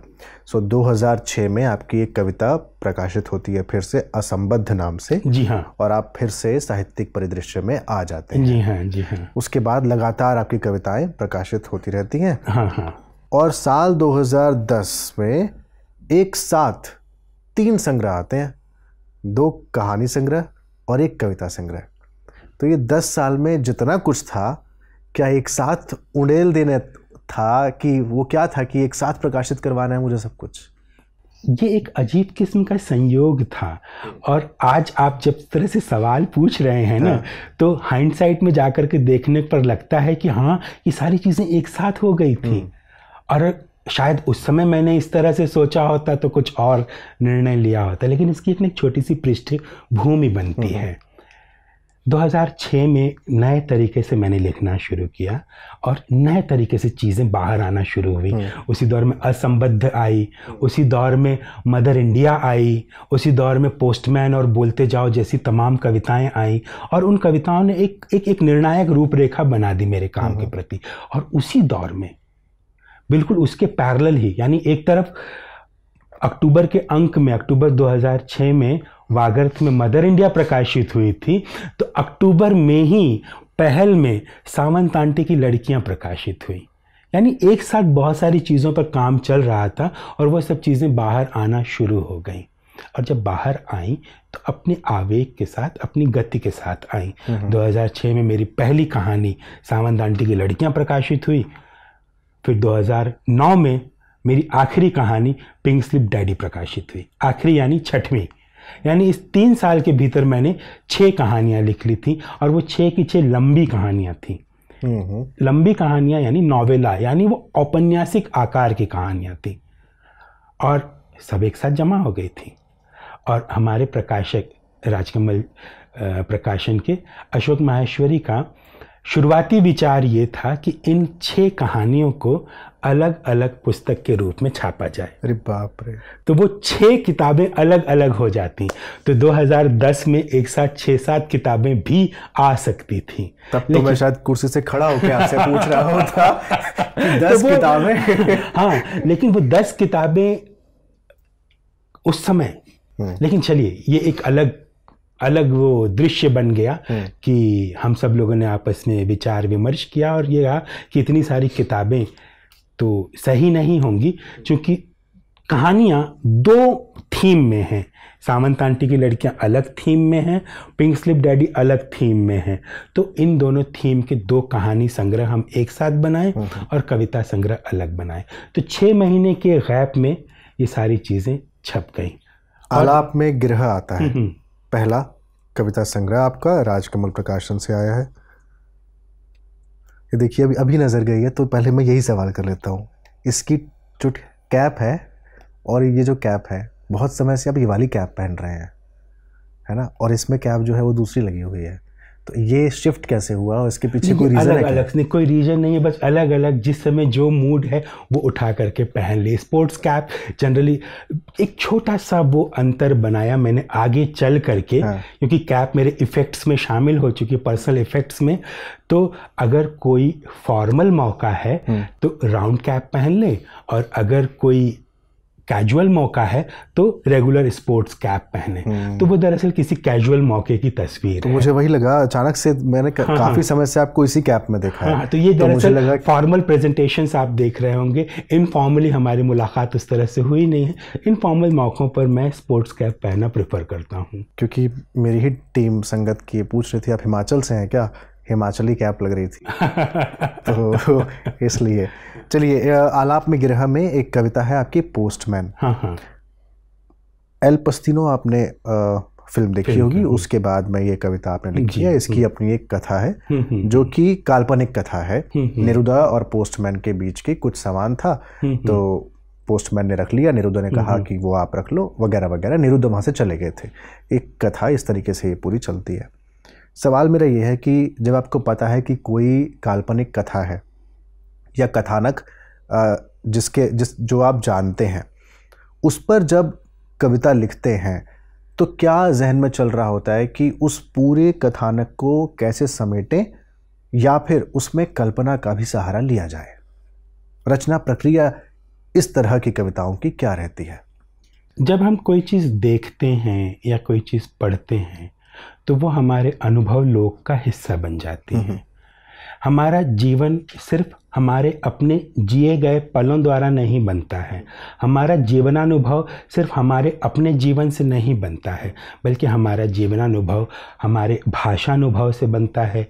जो भाषा हम बोलते और सुनते हैं उससे बनता है। जो चीज़ें सिनेमा हम देखते हैं संगीत हम सुनते हैं उनसे भी बनता है। तो ये पूरा का पूरा जो हमारा अनुभव है ये हमारी रचनाओं में शामिल होता है। वो पूरा दौर था जब न मैं न केवल विश्व साहित्य पढ़ रहा था अच्छे से बल्कि विश्व सिनेमा भी देख रहा था। उसी क्रम में मैंने ये इल्पोस्तिनो देखी थी। और इसने मेरे अनुभव लोक को बेचैन कर दिया था। बहुत सारी नई चीज़ें डाल दी थी। जैसे हम उस पोस्टमैन से कभी नहीं मिलेंगे लेकिन उस पोस्टमैन की प्रतीक्षा उस पोस्टमैन का अवसाद उस पोस्टमैन का आवेग हमारा अपना आवेग बन जाता है। जैसे हमने रामचरित मानस पढ़ा है हम श्री राम से कभी नहीं मिलेंगे लेकिन श्री राम की तड़प हमारी अपनी तड़प बन जाती है। जो अनात्म है हम्म, उसको आत्म बना लेना और आत्म को अनात्म का अपना महसूस करवा देना यही हमारे साहित्य का हमारी कविता का सबसे प्रमुख गुण होता है। ठीक है इसकी एक और कविता है हाँ। सेब का लोहा। ये बिंब कहाँ से आया? सेब का लोहा। ये बचपन का एक बिंब है जब माँ सेब काट कर देती थी और थोड़ी देर में वो सेब जो है वो लाल छा मतलब रेडिश हो जाता था ललछाऊहापन उस पर आ जाया करता था। तो हम पूछते थे ये लाल क्यों हो गया है? तो माँ कहती थी आयरन है। इसके अंदर आयरन होता है इसी कारण ये लाल हो जाता है। तो वो बिंब मेरे दिमाग में बचपन से तैरता था कि सेब के भीतर एक लोहा होता है जो उसका आयरन तत्व होता है जो लाल हो जाया करता है और काटने के थोड़ी देर बाद सेब में जंग लग जाया करती मुझे है। सेब की फाक पर उगाया लोहा कह लो या पहिए और पटरी के बीच से कभी फुर्सत में निकली चिनगारी या तमाम माफियाओं की मांग से भरी वो प्रार्थना जिसका मसौदा सदियों से अपनी जेब में रखते आया हाँ, पढ़े जाने के माकूल वक्त का इंतज़ार करते इसकी कविता है। गीत जी जो कविताएँ खुशियों के गुप्तचर में हैं जो आपका इधर जो संग्रह आया उसमें जो आती हैं और जो आलाप में गिरहा में है इन दोनों में एक अंतर तो आकार का दिखलाई देता है साफ़ साफ़ कि जो लंबी लंबी कविताएँ या कहें खुशियों के गुप्तचर के कंपैरिजन में लंबी कविताएँ हैं।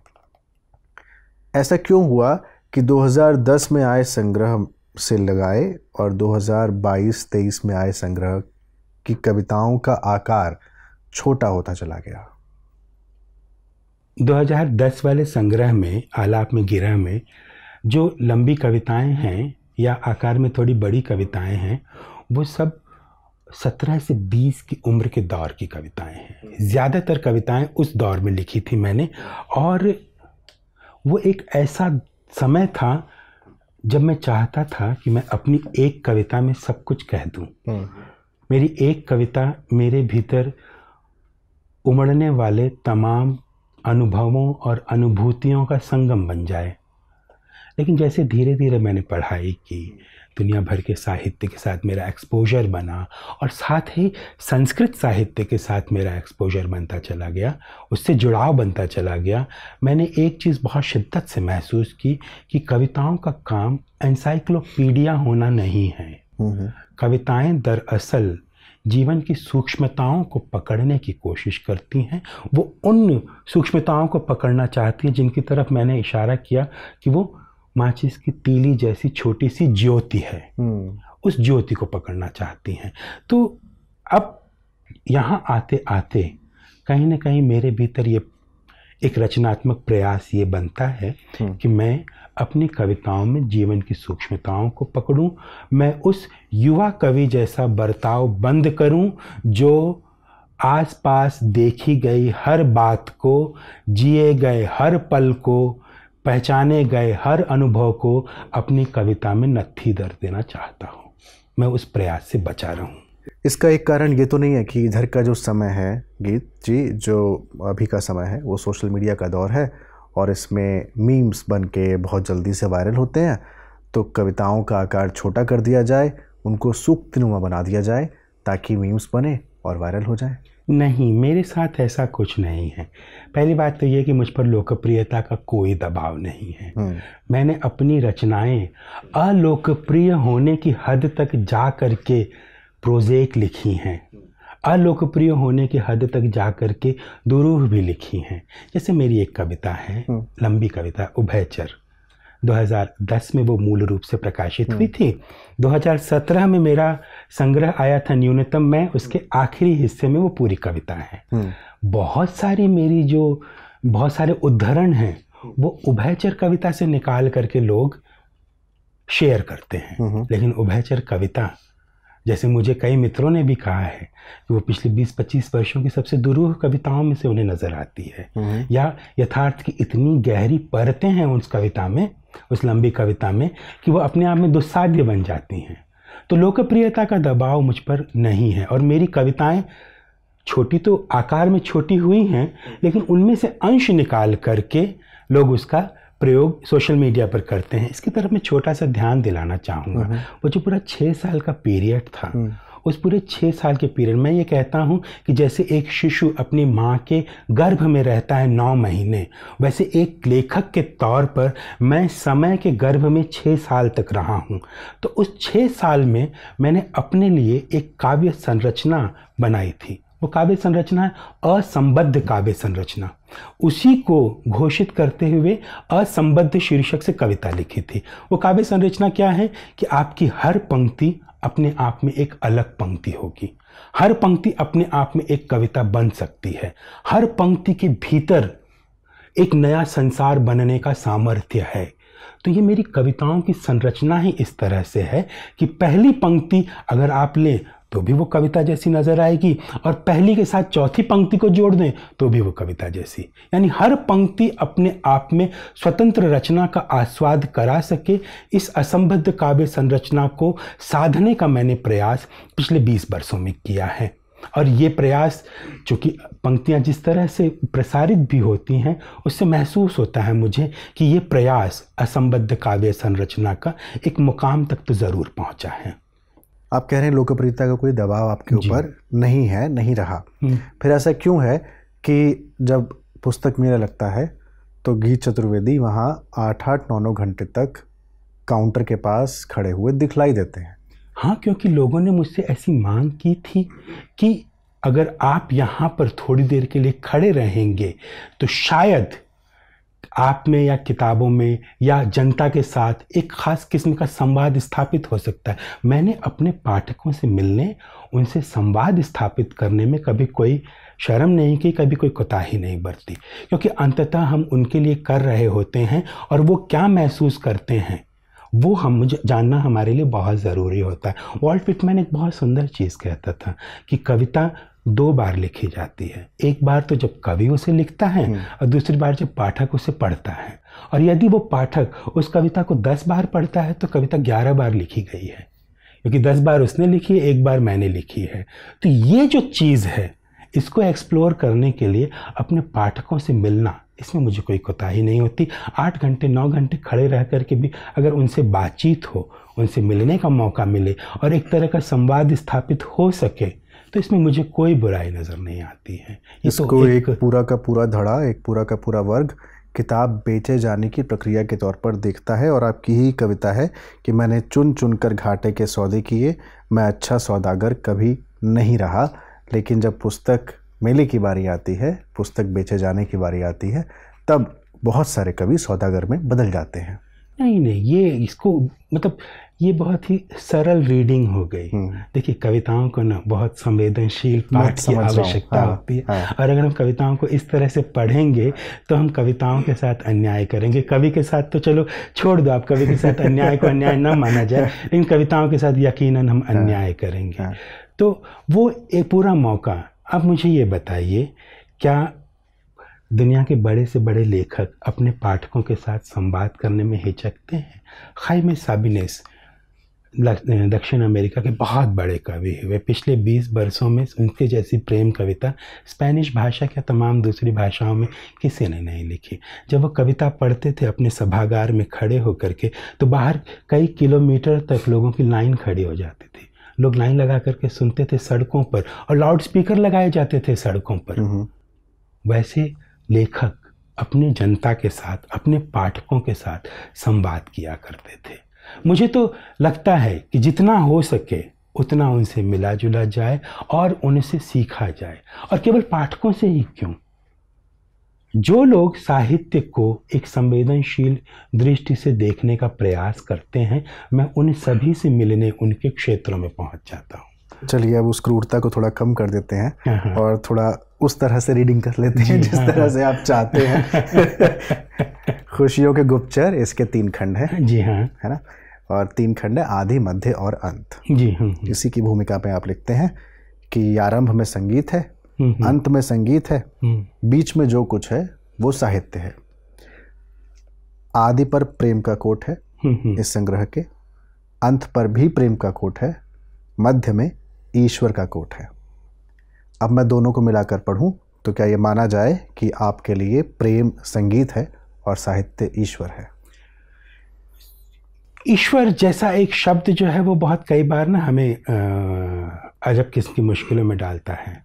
लेकिन साहित्य मेरे लिए जो है वो बिल्कुल उस उस सर्वशक्तिमान की ही तरह है हम्म। जो हमें एक रास्ता दिखाता है हम्म। ये बिल्कुल है ये और आदि और मद अंत इनमें संगीत होने का एक और कारण है हम्म।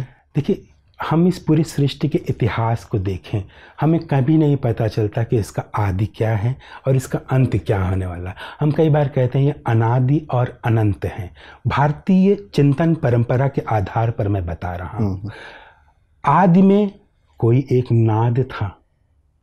उस नाद से उत्पत्ति हुई। नाद ब्रह्म। हाँ अंत में भी कोई एक नाद होगा सब कुछ जाकर के उसी में विलीन हो जाएगा। हम्म। तो नाद जो है वो संगीत को प्रतिनिधित्व कर रहा है। बीच में साहित्य है। हम जीवन को व्यक्त मध्य के रूप में जीते हैं। व्यक्त मध्य। आदि और अंत के बीच का जो मध्य भाग है वही हम पर व्यक्त है। सृष्टि का उतना ही हिस्सा हम जानते हैं जो किन्हीं दो अनजान बिंदुओं के मध्य में है।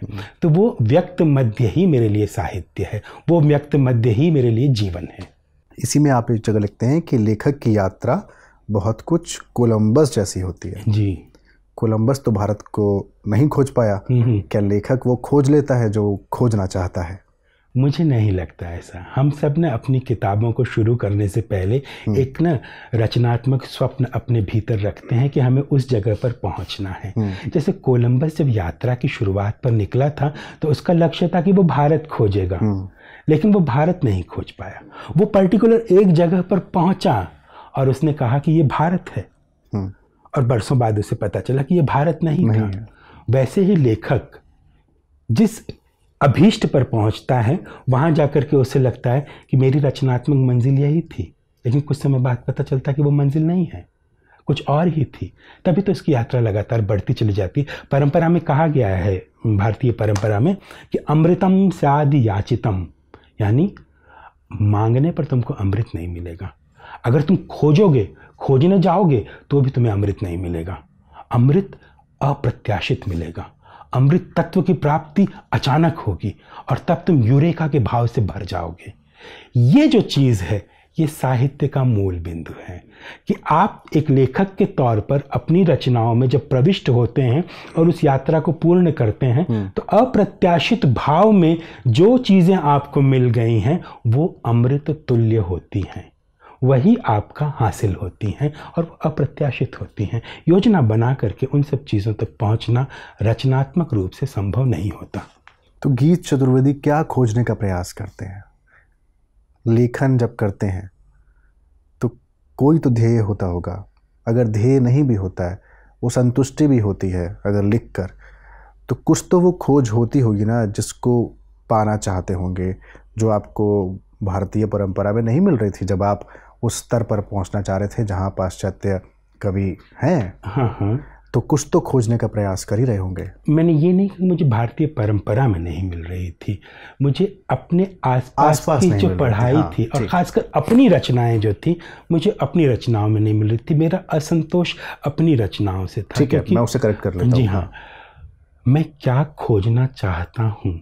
ये सवाल ना बहुत ट्रिकी है क्योंकि ये एक ऐसा सवाल है जो वैदिक युग से चला आ रहा है।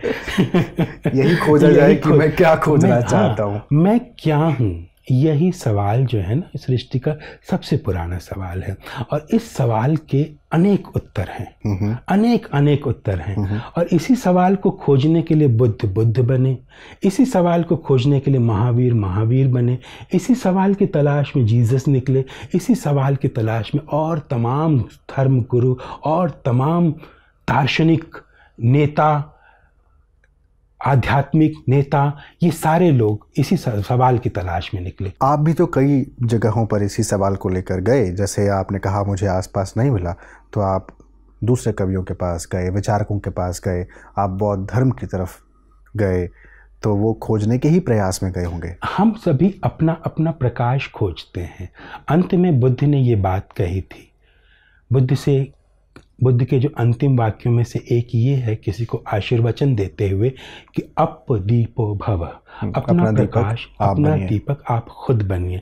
एक लेखक के तौर पर एक कलाकार के तौर पर हम अंततः अपना प्रकाश खोज रहे होते हैं। हम चाहे बुद्ध को पढ़ें चाहे महावीर को पढ़ें चाहे प्रेमचंद को पढ़ें चाहे जेम्स जॉयस काफका प्रूस्त को पढ़ें उस समय हम उनके द्वारा अर्जित प्रकाश को पढ़ रहे होते हैं। हमारी रचनात्मक यात्रा तब सफल होती है कि जब हम उनके द्वारा अर्जित प्रकाश की परछाई में अपने द्वारा एक नए प्रकाश का अर्जन करें।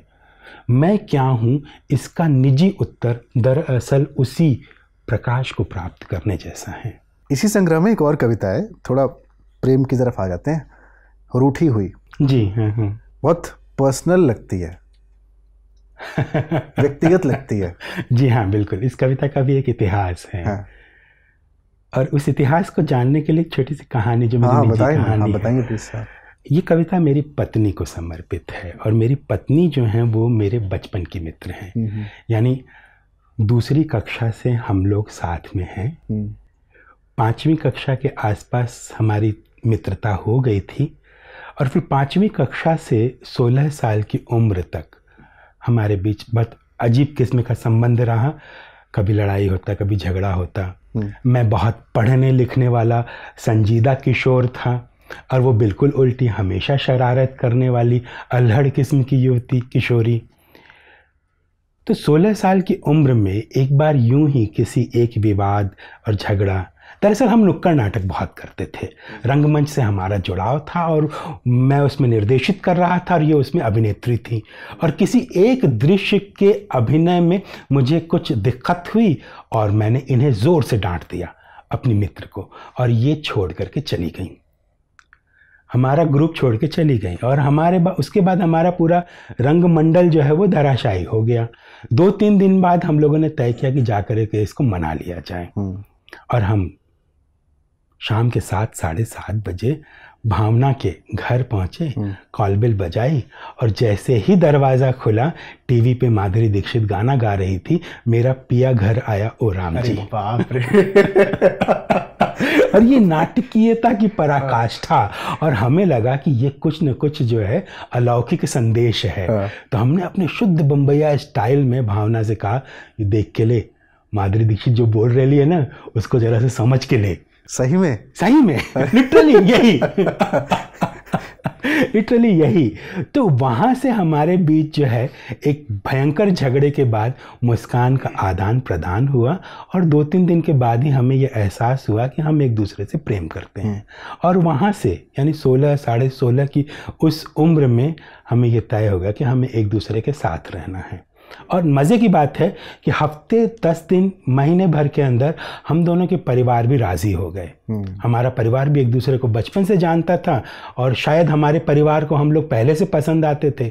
तो हमारे बीच एक अच्छा सा प्रेम संबंध स्थापित हो गया जो कि बेहद चर्चित था बहुत मशहूर था क्योंकि हमारा एक बहुत बड़ा ग्रुप था। और हमारी मेरी जो साहित्य की यात्रा है जो सत्रह की उम्र से शुरू हुई तो भावना उसकी बिल्कुल गवाह थी। तो यानी पहली पाठक वही होती हैं? अमूमन वो होती हैं। हम्म, हम्म, अमूमन पहली पाठक वही हुआ करती हैं। तो जब मैं बहुत सारी कविताएँ लिख रहा था बहुत सारी कविताएँ रिजेक्ट कर रहा था तब से लेकर अब तक कोई भी एक सिंगल कविता भावना को समर्पित नहीं थी या भावना की बातों पर नहीं थी। तो कई बार वो यूँ ही नाराज़ हो जाया करती थी कई बार यूँ ही रूठ जाया करती थी।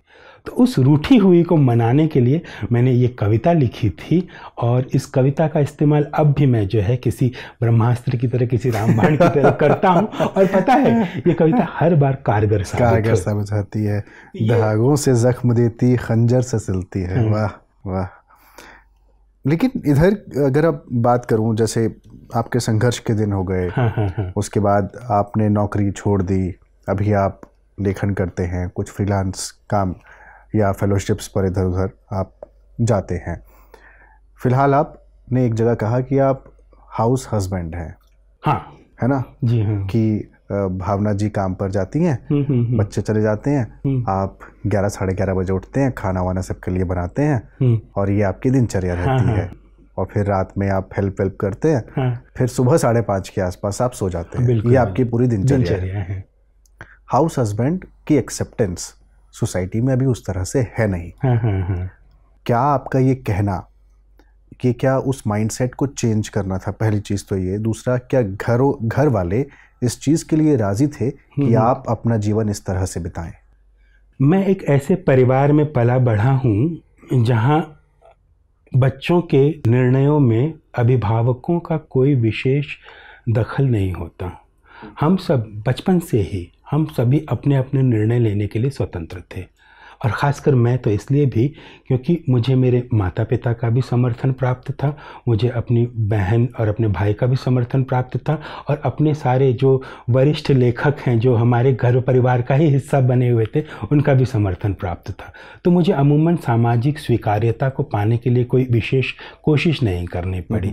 जिस दिन मैंने ये तय किया कि अब मैं शादी कर रहा हूँ भावना के साथ में तो इसमें मुझे किसी भी किस्म का कोई कहीं से अड़ंगा नहीं आया था।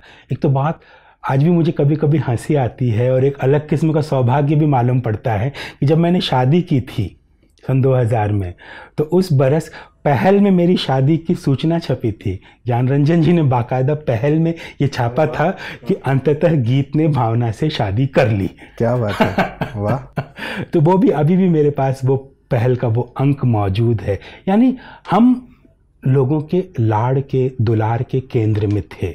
हमें हर जगह से प्यार एक जोड़े की तरह एक कपल की तरह हमें हर जगह से प्यार मिला करता था और वो अभी भी मिलता है। ज्ञान जी भी कमाल के व्यक्ति हैं। अद्भुत अद्भुत। मेरे तमाम शिक्षकों में कई शिक्षकों में से एक ज्ञान जी हैं ज्ञान रंजन जी जिनसे मैंने बहुत सीखा।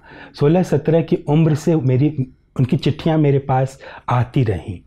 उनकी चिट्ठियों ने मुझे बहुत कुछ सिखाया है और एक वाक्य जो मैं आज तक नहीं भूलता हूँ और उस वाक्य को तमाम नौजवानों को सुनाता हूँ अपनी स्मृति से कि साहित्य सौ मीटर की फर्राटा दौड़ नहीं है साहित्य एक मैराथन है। क्या अगर ज़िंदगी भर दौड़ने का मादा तुम्हारे फेफड़ों में है तभी इस साहित्य की दौड़ में कूदो। ये उनका वाक्य था और ये वाक्य मैं बहुत लोगों को सुनाता हूँ। और इसी के कारण इस एक वाक्य के कारण हम्म। चीज़ों के प्रति मेरे भीतर एक अलग तरह का सब्र आया। मुझमें किसी चीज़ की जल्दबाजी नहीं है। कुछ भी हासिल कर लेने की या कहीं भी पहुँच जाने की जल्दबाजी नहीं है। तो कहीं ना कहीं ये उस वाक्य से। तो सामाजिक स्वीकार्यता वाली बात हो रही थी। हमने कभी उस चीज़ के बारे में सोचा नहीं। हमें हमने वही किया जो हम दोनों को सही लगा। और ये सौभाग्य है कि उन बातों को दूसरों ने समर्थन दिया। चलिए हम्म। न्यूनतम मैं पर आता हूँ। इस किताब कविताओं की फॉर्मेटिंग पर बात करना चाहता हूँ जिस एक कविता में दो पंक्तियाँ बाई तरफ़ है और बाकी दाई तरफ़ है इटैलिक्स में। आ, दोनों को अलग अलग पढ़ा जा सकता है और दोनों को आप एक साथ करके पढ़ सकते हैं। दाई वालों को एक साथ बाई वाले को आप एक साथ जी हाँ बिल्कुल। ये नव प्रयोग क्यों किया गया था? और क्या आपको लगता था कि हिंदी का पाठक इसके लिए तैयार है? मैंने जैसा बताया आपको कि उन पूरे छः वर्षों में मैंने अपने लिए असंबद्ध काव्य संरचना का हम्म। प्रैक्टिस उसका अभ्यास अपने लिए करना शुरू किया था। और ये जो संरचनागत प्रयोग है उसी असंबद्ध काव्य संरचना का एक नया पड़ाव था कि एक ही कविता के भीतर क्या हम एक से अधिक कविताओं का सुख प्राप्त कर सकते हैं? जैसे मल्टी लेयर नैरेटिव होता है फ़िल्मों में होता है मल्टी लेयर नैरेटिव नॉवेल्स में होता है मल्टी लेयर नैरेटिव महाकाव्यों में होता है। क्या वैसा हम एक छोटी कविता में साधारण आकार की आधुनिक कविता में पा सकते हैं। उसके लिए मैंने कविता को दो हिस्सों में बांटा। एक बाई तरफ़ एक अलग नैरेटिव दाई तरफ़ एक अलग नैरेटिव जिनको आप साथ में पढ़ें तो भी कविता का रूप बनेगा अलग से पढ़ें तो भी कविता का रूप बनेगा। तो असंबद्धता के साथ साथ एक महाकाव्यात्मक चेतना को छूने का भी एक कहीं कहीं प्रयास था ये। इसी में एक कविता है निवेद। जी। उसके दो ड्राफ्ट हैं। हाँ, एक हाँ। पुराना ड्राफ्ट है एक नया ड्राफ्ट है। जी हाँ हाँ। नया ड्राफ्ट से ठीक पहले पुराना ड्राफ्ट प्रकाशित है इसमें। हाँ हाँ। जब नया ड्राफ्ट लिख रहे हैं उसमें दाई और पुराना ड्राफ्ट भी पूरा का पूरा जस का तस दिया गया हाँ, दोनों ड्राफ्ट एक साथ आपने क्यों दिए इसमें? मैं अपनी कविताओं पे कई कई बार काम करता हूँ। कई कई ड्राफ्ट्स उनके बनते हाँ। हैं। मेरा एक साधारण नियम ये है जो निजी लेखकीय नियम ये है कि किसी कविता की रचना करने के बाद उसको विभिन्न ड्राफ्ट्स में लिख करके एक संतोषप्रद रूप तक पहुँचाने के बाद उसे एक साल के लिए अपनी दराज में छोड़ दो। उसे छुओ मत उसे किसी को सुनाओ मत उसे कहीं छपवाओ मत। एक साल बाद निकाल करके उसे पढ़ो। यदि कोई कविता तुम्हारी दराज में एक साल तक ज़िंदा है तो इसका अर्थ है कि वो बाहर निकल करके ज़िंदा रहेगी। लेकिन अगर वो कविता तुम्हारी दराज में ही एक साल के अंदर ही मृत हो गई है या वो लगभग मृत प्राय या क्लांत हो चुकी है। इसका मतलब है कि बाहर नहीं निकल पाएगी। हम्म। तो कविताओं के इस तरह से अलग अलग तरीके के ड्राफ्ट पे काम करने के बाद एक ना कंफ्यूजन वाली स्थिति पैदा हो जाती है। हम्म।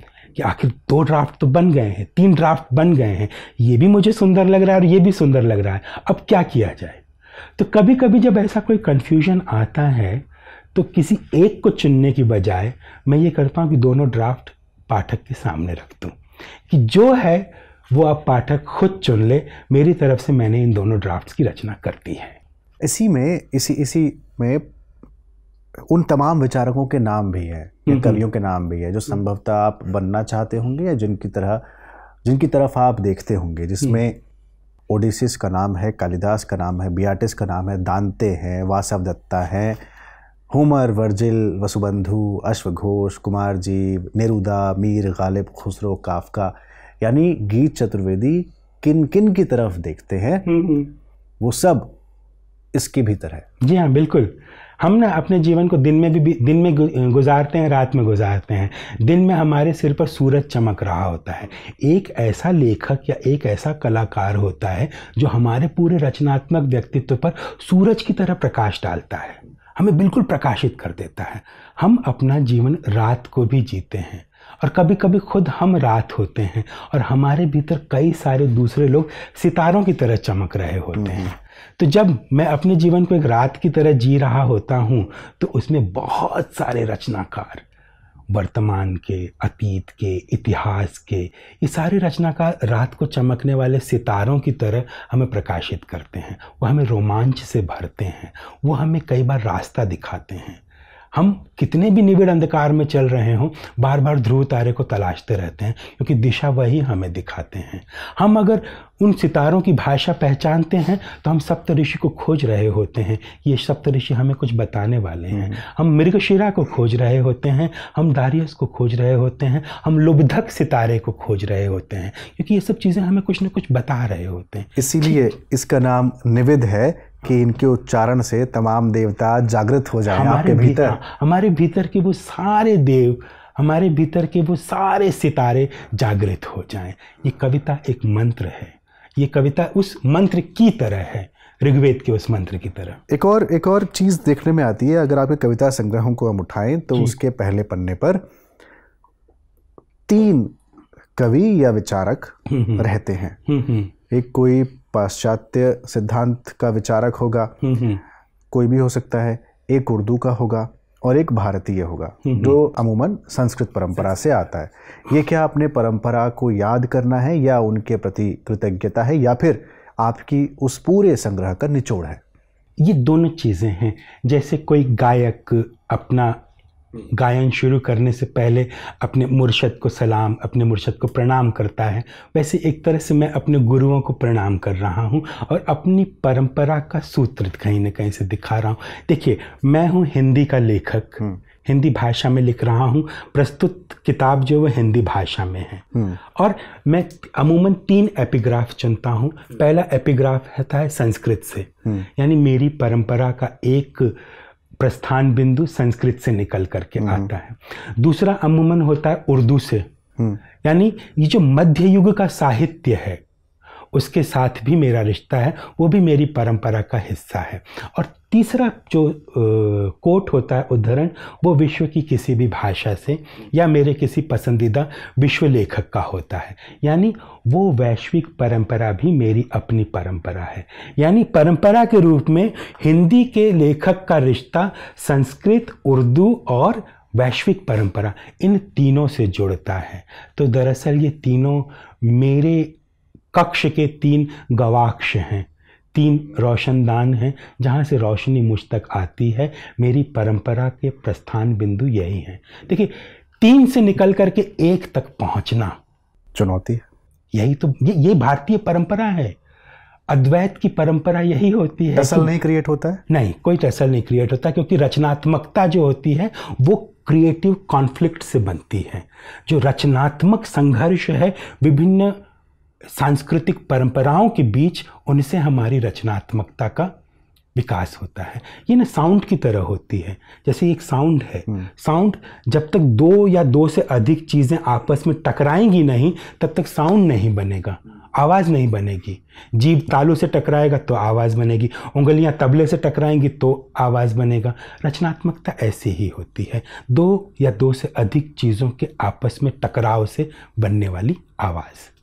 थीसिस एंटीथीसिस सिंथेसिस बिल्कुल। जैसे आज मेरी आवाज़ ख़राब है। ये तो आपका स्वास्थ्य जरा गड़बड़ है।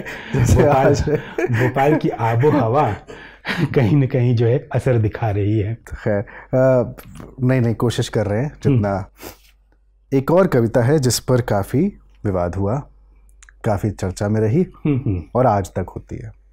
चेहरा। हाँ। प्रेम में डूबी स्त्री का चेहरा बुद्ध जैसा दिखता है।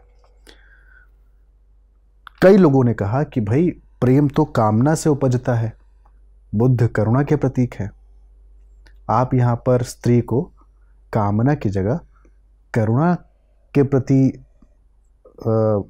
झुका हुआ दिखा रहे हैं। यानी वो जो पितृसत्तात्मक सोच है कि स्त्री करुणा के पास मतलब करुणामय ही होती है, आप वही उसको दिखाने का प्रयास कर रहे हैं। मैं हमेशा एक बात कहता हूँ कि हमारी कविताएँ हमारी अनुभूतियों का प्रतिबिंबन करती हैं, वो अनुभूतियों का चित्रण करती हैं, वो कोई सिद्धांत नहीं होती हैं। और कविता को अनुभूति की तरह ग्रहण करना चाहिए। कविता को सिद्धांत की तरह ग्रहण करने से कई बार रचनात्मक चुनौतियाँ सामने खड़ी हो जाती हैं और वो कुपाठ की तरफ़ भी हमें ले जा सकती हैं। तो ये जो कविता है, ये दरअसल एक निजी अनुभूति का प्रतिफलन है, निजी अनुभूति का चित्रण है। मेरी नज़र में ज्ञात इतिहास में प्रेम के सबसे बड़े बिंब प्रेम की सबसे बड़ी प्रेम का सबसे बड़ा रूपक। बुद्ध के यहाँ बनता है। स्वयं बुद्ध अपने आप में प्रेम के सबसे बड़े प्रतीक की तरह दिखाई देते हैं। और वही प्रतीक प्रेम का वही रूप जो है उस स्त्री के चेहरे में दिखाई देता है जिससे मैं प्यार करता हूँ जिसके साथ मैंने अंतरंग क्षण गुजारा है। तो एक निजी अनुभूति को निजी अनुभूति से जुड़ी हुई कविता की तरह देखना चाहिए सिद्धांत की तरह देखने से बचना चाहिए। ये कई बार ये बात होती है जैसे मैंने कहा कि साहित्य की सबसे बड़ी उपलब्धि ये होती है कि वो अनात्म को आत्म में परिवर्तित कर देता है और आत्म को अनात्म तक लेकर के जाता है। तो मेरा निज अगर किसी के अनात्म से जुड़ता है तो ये मेरे लिए उपलब्धि है। ये हर बार संभव नहीं होता। इसीलिए साहित्य कभी एब्सोल्यूट नहीं होता। इसीलिए साहित्य कभी यूनिवर्सल नहीं होता। साहित्य अपनी स्थानीय परंपराओं में आस्वाद देता है। और स्थानीय परंपराएँ हमारे हृदय के निज से भी निर्मित होती हैं। हम्म। इसलिए तो निज अनुभूतियाँ साहित्य में रूपांतरित होती हैं। ये निजता की कविता है सैद्धांतिकी नहीं है। धीरे धीरे गीत जी देखा गया जैसे एक समय था। आप बहुत ज़्यादा पॉलिटिकली एक्टिव थे। अपने जब हाँ, युवा हाँ, हाँ, दिनों में मोर्चे पर भी थे आंदोलन भी कर रहे थे हाँ, हाँ, हाँ चुनाव हाँ, भी लड़ना चाहते थे हाँ, हाँ, तमाम चीज़ें थी। हम्म। धीरे धीरे वो पॉलिटिकल स्टैंड कहाँ गया? कविताओं में तो नहीं दिखता है। और ख़ासकर 2023 तक आते आते तो आप केवल प्रेम की कविताएँ ही लिख रहे हैं। तो जानना चाहते हैं कि गीत चतुर्वेदी का पॉलिटिकल स्टैंड है क्या? अच्छा इस इस सवाल को अगर आपकी अनुमति तो दो हिस्सों में बांट हाँ, दूँ मैं? एक जो पहले वाला हिस्सा है वो उसको हम समझ लें तो दूसरे वाले हिस्से को तो पहुँच जाएँगे। पहला हिस्सा बहुत दिलचस्प है जिसे मैं एक स्मृति की तरह एक एक अनमोल याद की तरह चेरिश करता हूँ। वो वही युवावस्था का दौर किशोरावस्था से लेकर युवावस्था का दौर जब हम बहुत सारे नाटक कर रहे थे नुक्कड़ नाटक कर रहे थे मोर्चे निकाल रहे थे। हम्म। मैं राजनीतिक पार्टी के साथ बहुत सक्रियता से जुड़ा हुआ था। वो पार्टी थी C P M Communist Party of India Marxist मैं पूरी तरह से कम्युनिस्ट था और राजनीतिक रूप से सक्रिय था। हम बहुत सारे मोर्चे निकाला करते थे आंदोलनों में जाते थे। मुंबई के आसपास का जो आदिवासी इलाका है जवाहर मुखाड़ा वाड़ा तलासरी ये सब ना मुंबई के 50 साठ सौ किलोमीटर के दायरे में ही पड़ते हैं। उन जगहों पर जाकर के काम किया करते थे। हम्म। और इतना मैं राजनीतिक रूप से सक्रिय था कि एक बार तो क्या हुआ था, हम मित्र एक जगह खड़े थे और वहाँ बहुत सारा कचरा जमा था और हमने अपने नौजवानों को उसी समय आवाज़ दे देकर बुलाया, कचरा साफ़ किया, वहाँ पर पूरा उस कचरे को साफ़ किया और उस कचरे को बैग में भर के नगर सेवक के घर तक पहुँच गए, नारे लगाते हुए हम्म। लगभग ये 20-25 मिनट तक हम लोगों का जुलूस, हमारा धरना, हमारा नारा चलता रहा। हम वहाँ जा कर के नारे वरे लगा करके उसके बाद सब यहाँ वहाँ तितर बितर हो गए और वहाँ बाद में पुलिस आ गई और हम लोगों को ढूँढने लगी। और बड़ी मुश्किल से हम लोगों की गिरफ्तारियाँ बच गई, बड़ी गिरफ्तारियाँ नहीं हुई, बड़ी मुश्किल से। यानी ऐसी सक्रियता थी हम लोगों की उस समय। लेकिन मैंने कहा ना जैसे जैसे मैं जीवन के ज़्यादा करीब जाता गया किताबों के और साहित्य के ज़्यादा करीब जाता गया। मुझे ये लगने लगा कि मैं अपनी पूरी काट में राजनीतिक चीज़ों के लिए बना नहीं हूँ। राजनीतिक आंदोलन is not my cup of tea ऐसा। मेरा पूरा मेरा पूरा व्यक्तित्व उसके लिए बना नहीं है। और मोहभंग जैसा शब्द अलग संदर्भों में हम ऐसा कहें कि जब मेरे अध्ययन का दायरा बढ़ने लगा तो मुझे ऐसा लगा कि राजनीतिक विचारधाराएँ हम्म। वो हमारी सोच को कहीं ना कहीं से एक कैद में ले जाती हैं हमारी सोच को सकरा बनाती हैं। देखिए विचारधारा में जुड़ा हुआ है विचार धारा यानी आपको धारा के साथ साथ ही चलना है यानी आप धारा के दास हैं। विचारधारा के साथ अगर आप चल रहे हैं तो आपको धारा का दास बनना ही पड़ेगा। लेकिन यदि आप विचार के साथ हैं तो आप किसी भी धारा के दास नहीं बनेंगे। विचार अपने आप में संपूर्ण है। तो मैं उसके बाद से जब से मैंने पढ़ाई आप विचार के साथ हैं विचार मैं विचार के साथ, के साथ हूँ विचारधाराओं से मेरा कोई वो नहीं है। और दूसरी बात जो दूसरा सवाल का दूसरा हिस्सा था राजनीतिक उपस्थिति। हाँ। मेरे कविताओं में मेरे पूरे साहित्य में मेरी राजनीतिक सोच का प्रतिबिंबन होता है। मेरी राजनीतिक चीज़ों का प्रतिबिंबन होता है। जैसे खुशियों के गुप्तचर में अगर देखें तो। आपके सामने किताब पढ़ी है उसमें कविता है खोले एक कश्मीरी बच्चे के खत। हाँ ठीक है ठीक है। वो राजनीति है। उसी में शुरू में ही एक कविता है सामूहिक आत्मकथा। पढ़े उसे। वो एक राजनीतिक है। हर कविता में राजनीतिक पक्ष कहीं ना कहीं होता है क्योंकि कवि की राजनीति मैं एक बात बहुत ज़ोर देकर कहता हूँ और मैं अकेला ही नहीं बल्कि दुनिया के बहुत सारे लेखक बहुत सारे कवि इस बात को ज़ोर देकर कहते हैं कि कवि की राजनीति राजनेता की राजनीति से अलग होती है। हम्म। कवि अपनी राजनीति का चित्रण अपनी सोच और समझ के अनुसार करता है वो किसी राजनीतिक विचारधारा का गुलाम नहीं होता। मैं राजनीतिक बातें कहता हूँ लेकिन किसी राजनीतिक पार्टी की बात नहीं करता हूँ। ये अंतर है। हम्म। तो जिस संसार का ब्रह्म सत्य ये हो कि मनुष्यता ही सर्वश्रेष्ठ है उस संसार में मनुष्यता की बात करना और मनुष्यता के पक्ष में आजीवन खड़े रहना यही एक कवि की सबसे अच्छी राजनीति हो सकती है। यही मेरी राजनीति है और मेरी तमाम कविताओं में मेरी तमाम रचनाओं में चाहे वो आलाप में गिरा न्यूनतम में या खुशियों के गुप्तचर हो चाहे वो अधूरी चीज़ों का देवता या अभी अभी ताज़ा जो आई है सिमसिम। सिम सिम उसमें भी ये दिखाई देता है। सिमसिम पूरी तरह से एक राजनीतिक उपन्यास है। सिंधी समुदाय पर लिखा गया विभाजन के समय सिंधी हिंदुओं की त्रासदी पर लिखा गया। विभाजन अपने आप में एक राजनीतिक मुद्दा है। जी। जी हाँ जी हाँ बिल्कुल। सिम सिम पहले कविता थी फिर कहानी हुई फिर उपन्यास हो गया। ये ऐसा क्यों होता है कि कुछ कविताएँ आपकी कहानी में तब्दील हो जाती हैं फिर लंबी कहानी में तब्दील हो जाती हैं जैसे कि सिंधु लाइब्रेरी। हाँ हाँ। वो भी पहले कविता थी। हाँ हाँ। फिर उसमें से एक नॉवेला निकला सिम सिम। और ये क्या किसी के कहने पर था या फिर जो आपको एक ट्रांसलेशन का ग्रांट मिलने वाला था उसकी वजह से था। नहीं ये उसकी वजह से नहीं इसका एक, एक अलग ना वो है जेनेसिस है।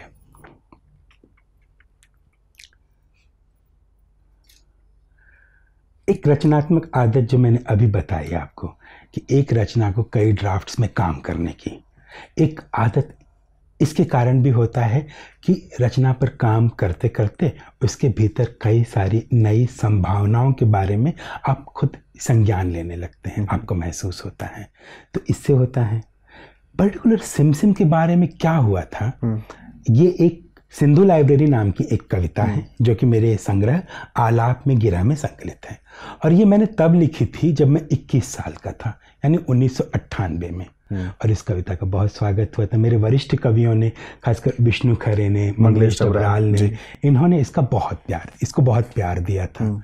2007 हम्म। के आसपास जब मैं कहानियों पर काम कर रहा था और मुझे भारत भूषण अग्रवाल पुरस्कार मिल चुका था विष्णु खरे ने दे दिया था तो ऐसे ही चर्चा के दौरान एक बार उन्होंने मुझसे कहा कि सिंधु लाइब्रेरी का जो विषय है हम्म।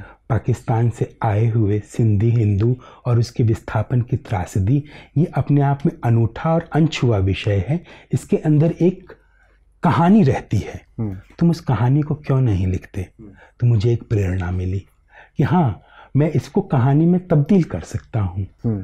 और मैंने उसे कहानी में तब्दील किया 2007 में 2016 में उस कहानी के अंग्रेज़ी अनुवाद को मेरी अनुवादक हैं अनीता गोपालन। हम्म। उन्होंने उसे अंग्रेज़ी में अनुवाद किया और उस अंग्रेज़ी अनुवाद को पेन अमेरिका का एक पुरस्कार मिला।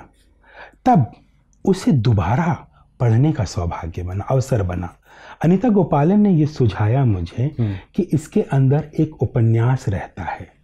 जैसे कविता के भीतर एक कहानी रहती थी वैसे ही उस कहानी के भीतर एक, उपन्यास रहता है। तो विनोद जी वाली वो पंक्ति कविता के भीतर पहले एक या उपन्यास के भीतर पहले, पहले एक कविता रहती थी। वो पंक्ति बिल्कुल याद आ गई और वहाँ से प्रेरणाएँ मिलनी शुरू हो गई।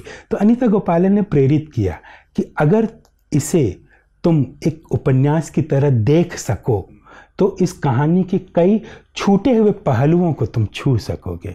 और वो वही हुआ। मैंने उस पर एक उपन्यास की रचना शुरू की। फिर वही कहूँगा जैसे आपने कहा कि लोकप्रियता मेरे लिए कभी कुछ वो हाँ, रहा नहीं है लेकिन हाँ, हाँ, हर बार ये कहा गया कि कविता चूँकि लोकप्रिय हुई हाँ, तो उसमें से कहानी निकल गई। हाँ, हाँ। कहानी लोकप्रिय हुई हाँ, हाँ, और ग्रांट था इतना बड़ा हाँ, हाँ, तो वो वो भुनाने के लिए उपन्यास हो गया। ग्रांट अगर हम उसे उपन्यास में तब्दील ना भी करते तो भी अनीता गोपालन को वो ग्रांट ऑलरेडी मिल चुका उसकी वजह से चर्चा में आ चुकी उसकी थी। वजह से वो, चर्चा वो जो लोकप्रियता हाँ, हाँ, थी उसको उपन्यास में भुना सकते थे। ये तो भुनाना बनाना तो बिल्कुल अलग किस्म हाँ। की बात है। मुख्य बात ये है अपनी रचनात्मक क्षमता का अन्वेषण करना। मैंने उपन्यास लिखा नहीं था और ये अपने आप में एक बहुत बड़ी चुनौती थी मेरे लिए कि एक चीज़ जिस पे आप कविता लिखें और उस पर आपने कहानी लिखी हो उसे उपन्यास में तब्दील करना। किसी भी बात को देखने के कई तरीके हम्म। हो सकते हैं। मेरा अपना तरीका है अपने रचनात्मक व्यक्तित्व को अन्वेषित करना और कहानी को उपन्यास की तरफ़ ले जाने का प्रयास करना। ये थीम का विस्तार हम्म। उसको विराट रूप देना हाँ हाँ। ये एक रचनाकार कैसे करता है? क्योंकि जब आप कविता के भीतर उतर रहे हैं हाँ हाँ। और आप उसमें से कहानी निकाल रहे हैं। हाँ हाँ। फिर उस कहानी के भीतर प्रवेश कर रहे हैं। फिर आप उसमें से उपन्यास निकाल रहे हैं। जी। मतलब नदी में जाकर आप समुद्र निकाल रहे हैं। हम्म, हम्म। समुद्र में से पानी निकालना आसान है। हम्म, लेकिन नदी में जाके समुद्र खोजना बहुत मुश्किल है। ये कैसे होता है? देखिए मेरा जो थीम है काम करने की संरचना है मेरी असंबद्ध संरचना। हाँ। लेकिन जो विषय वस्तु है वह अपूर्णता। इसीलिए मेरी किताब अधूरेपन को कई बार एक अर्घ्य देती है अधूरेपन की पूरी अवधारणा को। हम्म, हम्म। तो थीम के रूप में मेरी अवधारणाएँ हैं अधूरापन। देखिए एक कविता थी हम्म। जो कि अपने आप में पूर्ण थी जो कि आपके लिए भी पूर्ण है। लेकिन कुछ समय बाद मुझे महसूस हुआ कि यह कविता पूर्ण नहीं अपूर्ण है। इसको पूर्ण करने के लिए कहानी में रूपांतरित कर रहा हूँ मैं। और कुछ समय के लिए वो कहानी भी पूर्ण हो गई। लेकिन कुछ बरस बाद पता चला कि नहीं ये भी पूर्ण नहीं है ये तो अपूर्ण है। अब इसकी पूर्णता में क्या किया जाए? तो इसको नए मुकाम तक ले जाए यानी उपन्यास में रखा जाए। अभी पूर्ण है? मैंने उसी में यही लिखा है कि अभी भी पूर्ण नहीं है। क्योंकि पूर्णता हाँ। एक भ्रम है। हाँ। क्योंकि पूर्णता तक हम पहुँच नहीं सकते हैं। और कहानियाँ कभी पूरी नहीं होती, बल्कि वो एक जगह पर जाके ठिठक जाती हैं, ठीक वहीं पे मुड़ करके अपना नया रास्ता बना लेती हैं। कहानियों में ये है। तो विषय वस्तु है मेरा अधूरापन, जिसे प्राणे के लिए मैं नित्य नए प्रयास करता हूँ। अपनी ही पुरानी रचनात्मकता मेरे लिए अपूर्ण हो जाती है, जिसे पूर्ण करने के लिए एक नए पड़ाव तक एक नए मुकाम तक पहुँचने का प्रयास करता हूँ। चलिए अनिता गोपालन की तरफ़ आते हैं। जी। उन्होंने ट्रांसलेशन किया। हाँ हाँ। अनीता गोपालन के बारे में लोग जानना चाहते हैं कि कौन है पहली बात हाँ और हाँ। केवल गीत चतुर्वेदी की रचनाओं का ही ट्रांसलेशन करती हैं ऐसा क्यों है? अच्छा। कैसे मुलाकात हुई थी? अनीता गोपालन मेरी मित्र हैं और उनसे मुलाकात जो है वो सोशल मीडिया पर ही हुई थी। उन्होंने मेरी कुछ रचनाएँ पढ़ी थी और उसके बाद हमारा संवाद हुआ। हाँ। अनुवाद करने वाली जो बात है ना वो बड़ी दिलचस्प रही। क्योंकि हमारी मित्रता हमारा संवाद हमारी रुचियाँ कॉमन थी। अनिता गोपालन बहुत विद्वान हैं पढ़ी लिखी हैं। बिट्स पिलानी से इन्होंने कंप्यूटर की पढ़ाई की मैथमेटिशियन हैं। बहुत लंबे समय तक ये ऑस्ट्रेलिया में रहीं न्यूजीलैंड में रहीं आधी दुनिया घूम चुकी हैं। बहुत सारे अलग अलग तरीके से हिंदी अंग्रेज़ी मारवाड़ी तीनों भाषाओं में साहित्य रचना कर चुकी हैं लेकिन स्वांतः सुखाए ये उस संकोची और शर्मीली किस्म की यानी इनके भीतर ना एक संत जैसा संकोच है और संतों जैसा वैराग है। हम्म। किसी चीज़ से कोई ज़्यादा लेना देना नहीं। तो इस तरह का एक व्यक्तित्व मेरे जीवन में आया जिसकी जो अंग्रेज़ी साहित्य पर बड़ी घनघोर पकड़ रखता था। और मेरे साथ ऐसा था कि अमूमन मेरी कविताओं को लोग अंग्रेज़ी में अनुवाद करके मेरे पास भेजा करते थे कि आप परमिशन दे दें तो इसको हम कहीं पे छपवा लें। और थोड़ी बहुत अंग्रेज़ी मुझे भी आती है तो मैं उन अनुवादों को पढ़ करके थोड़ा बुझ जाया करता था। हम्म। थोड़ा असंतुष्ट हो जाया करता था कि नहीं वो बात आ नहीं पाई है। तो जैसे डॉक्टर्स होते हैं ना सेकंड ओपिनियन लेते हैं। तो वैसे ही मैं सेकंड ओपिनियन लेने के लिए अनिता गोपालन के पास वो अनुवाद भेज दिया हाँ। करता था और वो पढ़ते ही उसको रिजेक्ट कर देती थी। ना इसमें वो बात नहीं है इसमें मज़ा नहीं है। इस तरह दस अनुवादक रिजेक्ट हो गए। एक दो नहीं बल्कि दस अनुवादक अगले तीन चार साल में। और मेरी कविताओं का मेरी रचनाओं का अंग्रेज़ी अनुवाद करने के लिए इतने लोग लगे हुए थे और इतनी डिमांड हो रही थी दस के बाद तो आदमी बोले भाई तुम ही कर दो। हाँ तो यही हुआ। यही हुआ लिटरली यही हुआ कि जब अनीता गोपाल ने दसवें को भी रिजेक्ट कर हाँ। दिया मुझे लगा था कि इसमें थोड़ी संभावना है इसने थोड़ा बेहतर किया है। और उन्होंने कहा नहीं गीत इसमें वो बात नहीं है इसमें वो मज़ा नहीं नहीं है। तो चिड़के मैंने कहा यार तुम सबको रिजेक्ट कर दोगे तो कैसे चलेगा यार? अब तुम खुद ही करो। तो बहुत झिझकी वो बहुत एकदम हिचकिचा गई और उन्होंने कहा मैंने कभी ट्रांसलेशन नहीं किया है जीवन में। मैं लिख लेती हूँ मैं पढ़ लेती हूँ मैं इंजॉय कर लेती हूँ लेकिन मैंने ट्रांसलेशन नहीं किया है। हम्म। मैंने कहा आप देखो अगर या तो फिर ग्यारहवें को तुम एक्सेप्ट कर लो ग्यारहवें को रिकमेंड कर दो। वैसा हुआ नहीं। उन्होंने लगातार बातचीत की और फिर एक दिन उन्होंने कहा कि ठीक है, मैं अनुवाद की कोशिश करती हूँ। कुछ एक कविताएँ उन्होंने अनुवाद की और देखिए, उनकी प्रतिभा है और उनकी लगन है, समर्पण है और भाषा की उनकी समझ है। मैं उनका ना बहुत बड़ा, उनके काम का बहुत बड़ा प्रशंसक हूँ मैं। तो उनकी भाषा और साहित्य की उनकी समझ है कि उन्होंने अनुवाद करना शुरू किया और सिर्फ़ एक साल के भीतर ही, एक सवा साल के भीतर उन्होंने पेन अमेरिका से इतना बड़ा पुरस्कार हासिल। कर लिया। जिस समय उनको ये पुरस्कार मिला था, पेन अमेरिका का वो ग्रांट, उस समय वो सिर्फ़ दूसरी भारतीय अनुवादक थी जिनको ये पुरस्कार मिला। उसके पहले अरविंद कृष्ण मेहरोत्रा को मिला था और दूसरी अनीता गोपालन को। और मेरी जो सिमसिम थी ये कृति, ये दूसरी गल्प कृति थी। जिसको वो ग्रांट मिला था।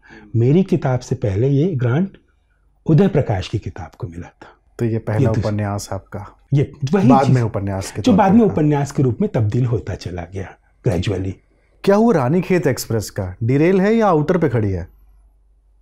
आउटर पे खड़ी है।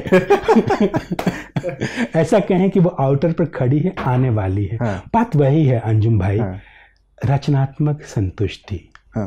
मैंने कहा ना एक कविता को मैं एक दराज में एक साल तक के लिए रख देता हूँ। हम्म। अगर एक साल तक भी वो ज़िंदा रह गई तो मैं उसे बाहर लाने के बारे में सोचता हूँ।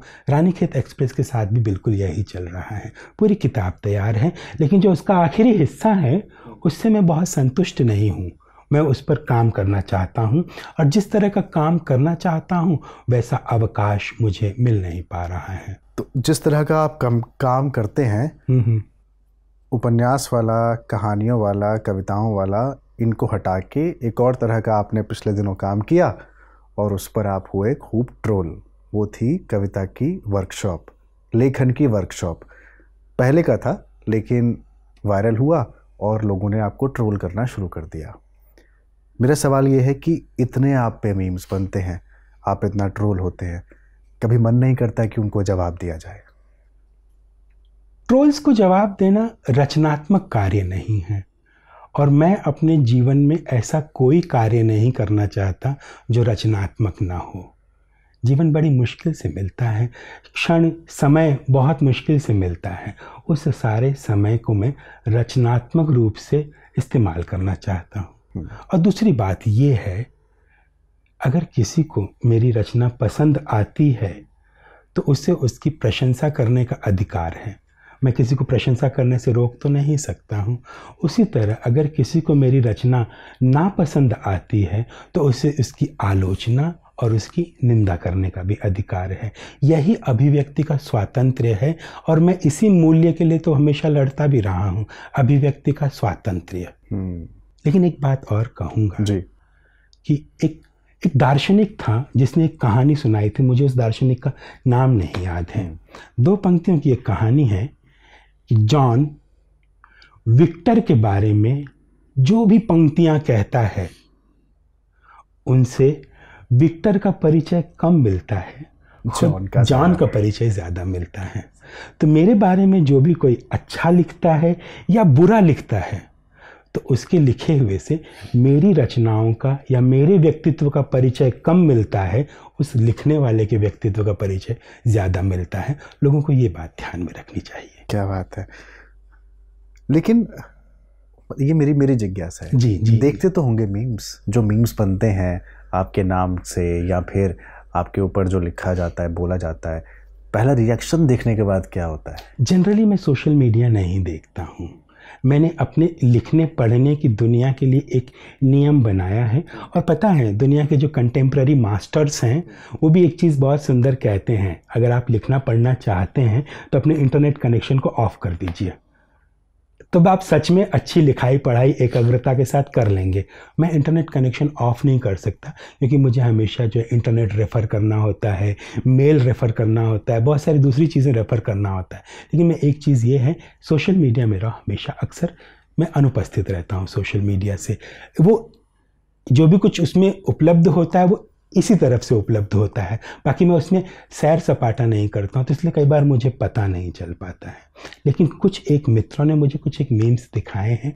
जैसे मैं अभी ना हिंदी नामा की जो पूरी टीम है हाँ हाँ। अंकुश कुमार और ये है ना मैं उनके साथ पुस्तक मेले के दौरान उनके घर गया था।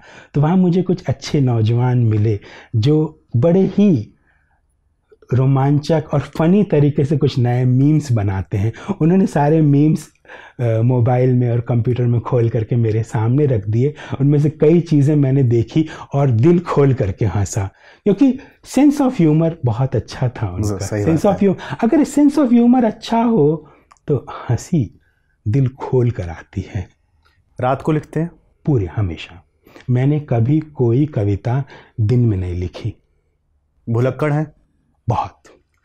ऐसा लोग कहते हैं और धीरे धीरे खुद को भी ये महसूस होने लगा।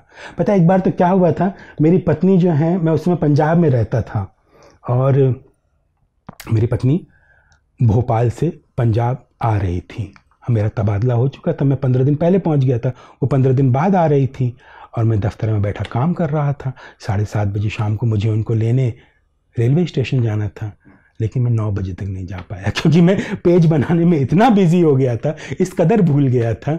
उन्होंने किसी, उस ज़माने में मोबाइल फ़ोन इतना आम नहीं था तो उन्होंने नौ बजे रात को किसी से मोबाइल फ़ोन ले करके फिर मुझे कहा कि मैं स्टेशन पहुँच चुकी हूँ, तुम क्या भूल गए हो? तो इस तरह की बहुत सारी चीज़ें मेरे जीवन में मुझे शर्मिंदा करने के लिए, शर्मसार करने के लिए आती रहती हैं। क्या गीत चतुर्वेदी में श्रेष्ठता बोध है? ऐसा तो कुछ नहीं है। मैं तो बहुत अदना सा, बहुत साधारण सा इंसान हूँ, जो अभी भी अपनी रचनात्मकताओं के भरोसे रहना चाहता है। बाकी ऐसा कोई बोध मुझ मेरे भीतर अभी तक तो नहीं आया है। जितना मिला गीत चतुर्वेदी को, अब तक जितना मिला, कभी ये भय नहीं लगता कि ये सब छूट ना जाए मेरे हाथ से। इतने फॉलोअर्स हैं। आमतौर पर साहित्यकारों के नहीं देखे जाते हैं। कहीं तो ये भय रहता होगा कि ये हाथ से फिसल ना जाए। ये बात तो सही है कि एक कृपा एक अनुकंपा लगातार रही। लेकिन ना मेरे जीवन की फ़िलॉसफी एक बहुत अलग घटना से आई है। आप मैं एक एक छोटा सा किस्सा सुनाता हूँ। मेरे जीवन की पहली हवाई यात्रा। 2003 हम्म। का बरस है मैं एक अखबार के लिए काम करता था। और उस अखबार के एक काम के सिलसिले में मैं सुदूर केरल में एक आश्रम में जाकर के सात दिनों तक रहा हम्म। वहाँ पर अपना सारा काम करने के बाद आठवें दिन मेरे गेस्ट हाउस के दरवाजे पर एक मर्सिडीज़ आके रुकी हम्म। और गेस्ट हाउस के मैनेजर ने कहा कि आपको आपके ऑफ़िस की तरफ़ से बुलावा आ गया है आपको आज ही लौटना है और हमने आपके लिए आपको एयरपोर्ट तक ले जाने के लिए ये गाड़ी उपलब्ध कराई है अब मैंने जीवन में पहली बार मर्सिडीज़ को छुआ था। मैं मर्सिडीज़ में पहली बार बैठा जीवन में अद्भुत अनुभव। अब 24-25 साल के लड़के के लिए तो ये क्या बात थी जो बिल्कुल अभावों से और साधारण मॉडेस्ट बैकग्राउंड से आया हुआ हो। मर्सिडीज़ में बैठा हुआ और मर्सिडीज़ एकदम सर्राटे से दौड़ रही है। अद्भुत अनुभव। वो मर्सिडीज़ मुझे लेकर के गई एक लंबे ड्राइव के बाद तिरुवनंतपुरम। वहाँ एयरपोर्ट पर मुझे पहली फ़्लाइट पकड़नी थी। मेरे जीवन की पहली हवाई यात्रा। उन्होंने बाकायदा मुझे बिज़नेस क्लास का टिकट लिया बिज़नेस क्लास में बिठाया। पहली हवाई यात्रा इतने शानदार तरीके से हुई मैं बहुत खुश हुआ। और मुझे ऐसा लगा होता ना जैसा कि अब लगता है कि अब तुम्हारे बुरे दिन ख़त्म होने वाले हैं तुम्हारे अच्छे दिन शुरू होने चढ़दी हाँ। कला है। और ये सब चीज़ें मेरे मन में आने लगी। मैं वहाँ से मुंबई और मुंबई से दिल्ली पहुँचा। और इन सब में मुझे रात के बज गए ग्यारह। हम्म, हम्म। अपने घर तक पहुँचते पहुँचते साढ़े ग्यारह बारह बज गए मुझे। घर पहुँचने के बाद दफ्तर से मैसेज आया कि इसी समय दफ्तर आ जाओ। अब उस ज़माने में कोई गाड़ी घोड़ा कुछ था नहीं। नोएडा का वो हिस्सा लगभग वीरान रहा करता था। मेरे पास कोई टैक्सी नहीं गाड़ी नहीं। बाहर निकला एक रिक्शे वाला जो है वो सड़क के किनारे सो रहा था। मैंने उसे जगाया। हम्म। उसने कहा चौराहे तक ले जाऊँगा उससे आगे नहीं। चौराहे तक पहुँचा मैं। वहाँ खड़ा होकर के इंतज़ार करने लगा। ऑटो टैक्सी का कुछ नहीं मिला। मुझे एक ट्रक मिला। तो मैंने ट्रक वाले से लिफ्ट मांगी और ट्रक में चढ़ा। वो मुझे हाईवे तक लेकर के गया कि इसके आगे लेफ़्ट में सर्विस लेन में जाना है सड़क पर जाना है। यहाँ आप अपना इंतज़ाम खुद कर लीजिए। मैं यहीं तक आपको छोड़ सकता हूँ। हम्म, हम्म। मैं वहाँ उतर गया और वहाँ खड़ा होकर के चौराहे पर किसी दूसरी गाड़ी का इंतज़ार करने लगा। मुझे कुछ नहीं मिला वहाँ भी कोई ऑटो नहीं रिक्शा नहीं कुछ नहीं। थोड़ी देर बाद वहाँ पे मुझे एक बैलगाड़ी आती हुई दिखी और रबर के चक्के वाली होती है बैलगाड़ी? हम्म, हम्म। बड़े चक्के लगे हुए। मैं उस बैलगाड़ी में बैठा और उस बैलगाड़ी में बैठ करके रात के साढ़े तीन पौने चार बजे अपने दफ्तर पहुँचा। प्लेन से मर्सिडीज़? से बैलगाड़ी तक। ये मेरे जीवन का ना एक बहुत बड़ी लर्निंग है। मेरी सुबह मेरे दिन की शुरुआत मर्सिडीज से हुई थी। मैं शानदार हवाई जहाज़ में बिज़नेस क्लास वगैरह में सफ़र कर रहा हूँ बिल्कुल अच्छी तरह यात्रा कर रहा हूँ और उसके बाद मेरे दिवस का अवसान बैलगाड़ी में होता है। मुझे लगा कहीं ना कहीं ये जो नियंता है ये जो प्रकृति है ये मुझको संदेश देना चाह रही है कि तुम्हारे प्रारब्ध में जितनी ऊंचाई है वो सारी ऊंचाई मैं तुम्हें दूँगी। लेकिन ये मत भूलना कि तुम आए कहाँ से हो। हम्म। तुम एक बहुत मॉडेस्ट बैकग्राउंड से बहुत छोटे परिवार से आए हो। तुम ऐसे परिवार से आए हो जो बैलगाड़ी जैसा परिवार था। तो अपनी उत्स को अपनी उत्पत्ति को अपनी उस शुरुआत को कभी मत भूलना। क्या बात है। एक आपके साथ एक रैपिड फायर खेलते हैं है ना? आ। मैं ग्लास मतलब पानी बीच बीच में पीऊँगा क्योंकि मेरा गला थोड़ा सा वो हो रखा है। मैं कुछ विचारकों के नाम लूँगा जिनको आप बार बार कोट करते हैं। हाँ हाँ। जो भी पहला शब्द आपके जहन में आए जो भी कौंधे वो आप तुरंत बताइएगा ठीक है? उसमें पाश्चात्य और अपना भारतीय दोनों रहेंगे। हाँ। ठीक। दांते। दांते दांते महाकवि।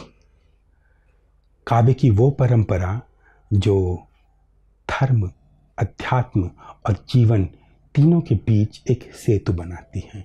प्रूस्त। प्रूस्त प्रकाश स्तंभ। रोशनी है वो। मेरे जीवन में प्रूस्त का बहुत महत्व है। मेरे रचनात्मक जीवन में प्रूस्त का बहुत बड़ा योगदान है। बोरहेस। बोरहेस बोरहेस एक ऐसा गुरु जिससे मैं कभी मिला नहीं। यानी मैं कहीं भी फंसता हूँ। गुरु मंत्र मुझे बोरहेस से मिलता है। रास्ता वही दिखाते हैं। रिलके। रिलके मेरा सबसे प्रिय कवि। पूरी दुनिया में जो एक ऐसा देवदूत था जिसके पंख जो हैं झुलसे हुए थे। जगायवस्की। जगायवस्की। आह जिसने कविता की उत्तर आधुनिकता हम्म। मुझे सीख जिससे मैंने सीखी जो एक जिसे एक मैं ये कहूँ कि आधुनिक महाकवि। मार्केस। मार्केस। जादू। नीचे नीचे जीवन दर्शन की पूरी खान और मैं यहाँ पहले भी आया था। कुंवर नारायण की कविता ने यहाँ पहले भी आया था। तो उसको भी पढ़ते हुए मुझे नीटशे याद आते हैं और नीटशे को याद करते हुए कुंवर नारायण की कविता कि मैं यहाँ पहले भी आया था। एटर्नल रेकोरेंस इस पूरी दुनिया में मैं आज भी उपस्थित हूँ पहले भी उपस्थित था और बाद में भी उपस्थित रहूँगा। कोएडसी जे एम कोएडसी एक ऐसा टीचर जो साहित्य और संगीत जो नमी और रूखापन जो खारापन और मीठापन दोनों के बीच के अंतर को इस्तेमाल करना सिखाता हो। पामुक पामुक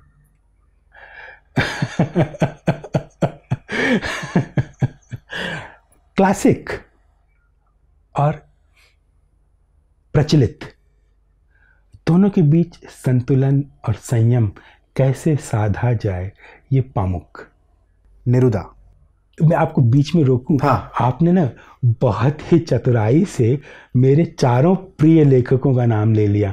मैंने अपने लिए एक ना निजी कैनन बना रखा है। बो मा को पा। हाँ। बोरहेस मार्केस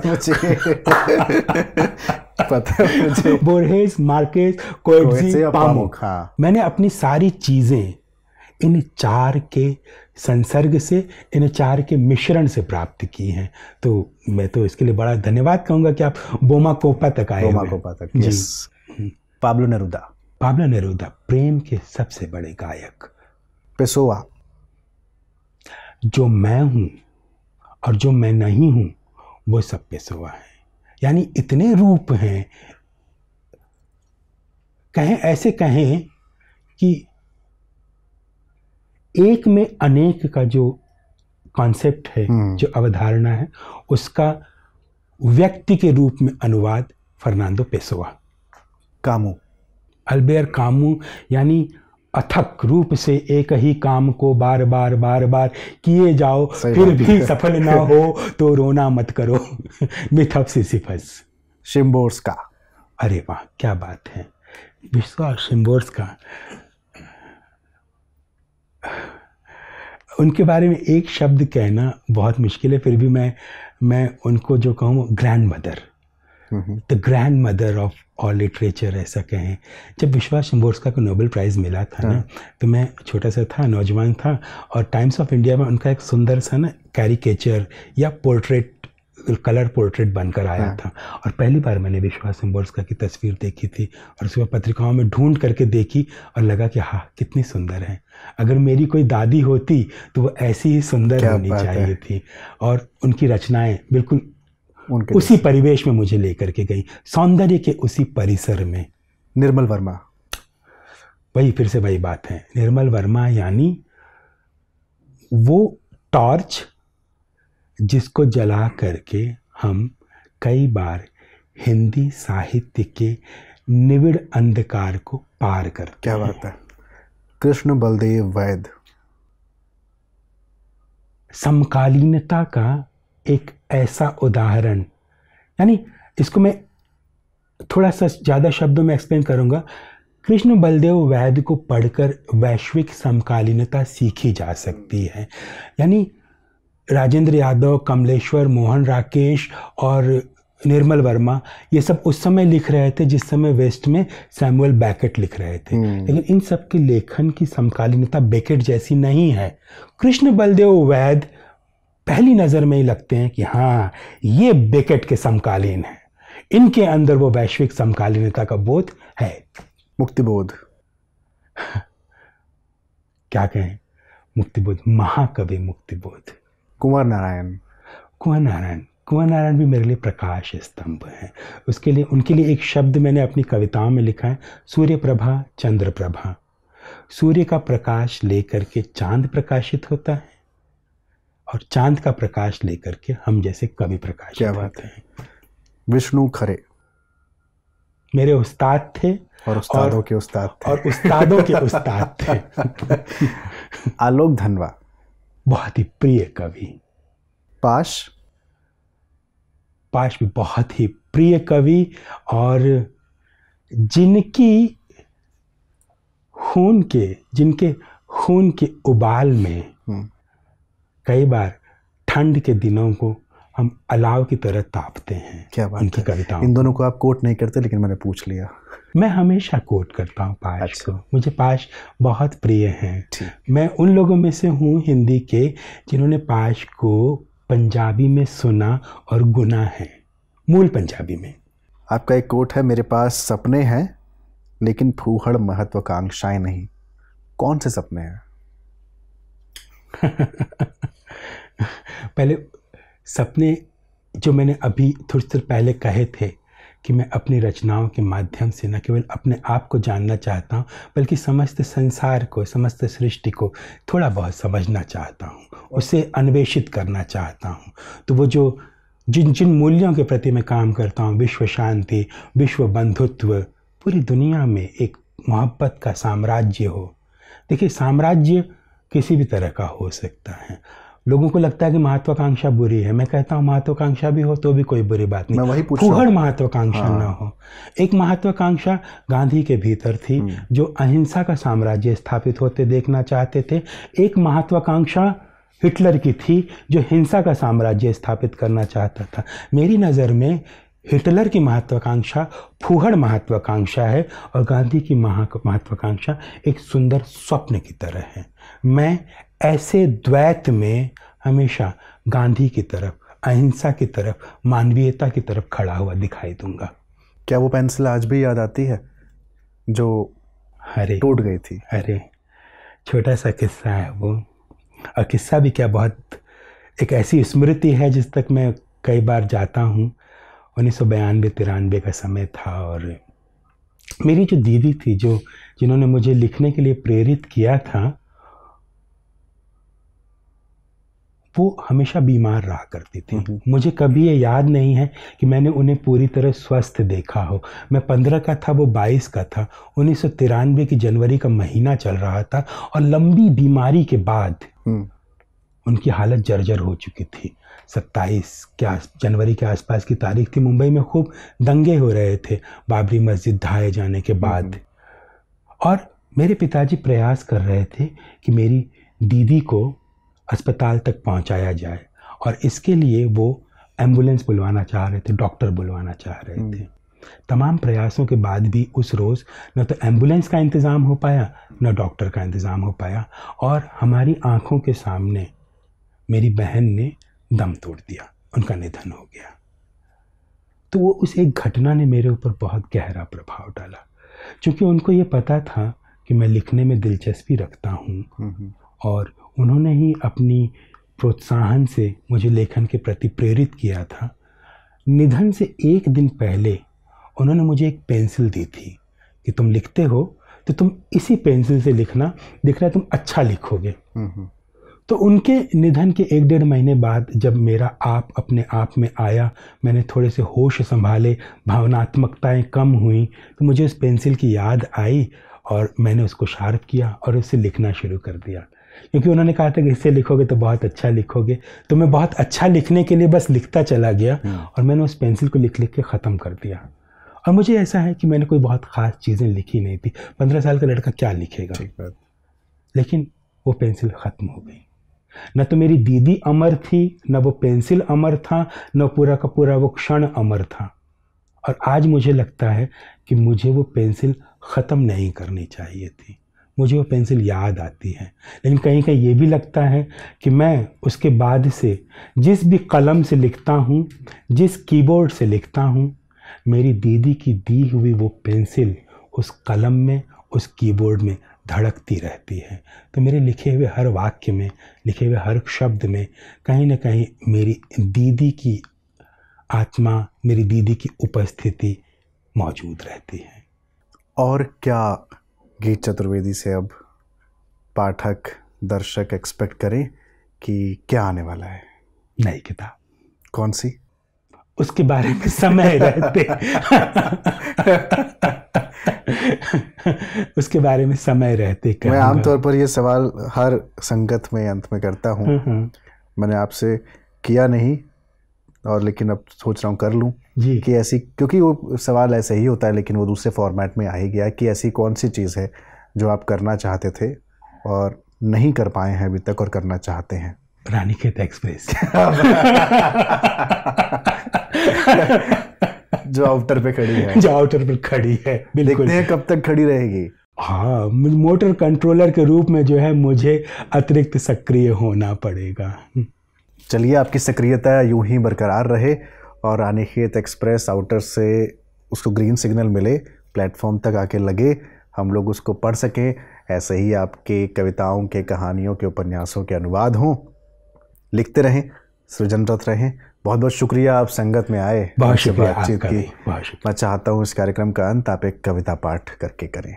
अच्छा एक कश्मीरी बच्चे के खत।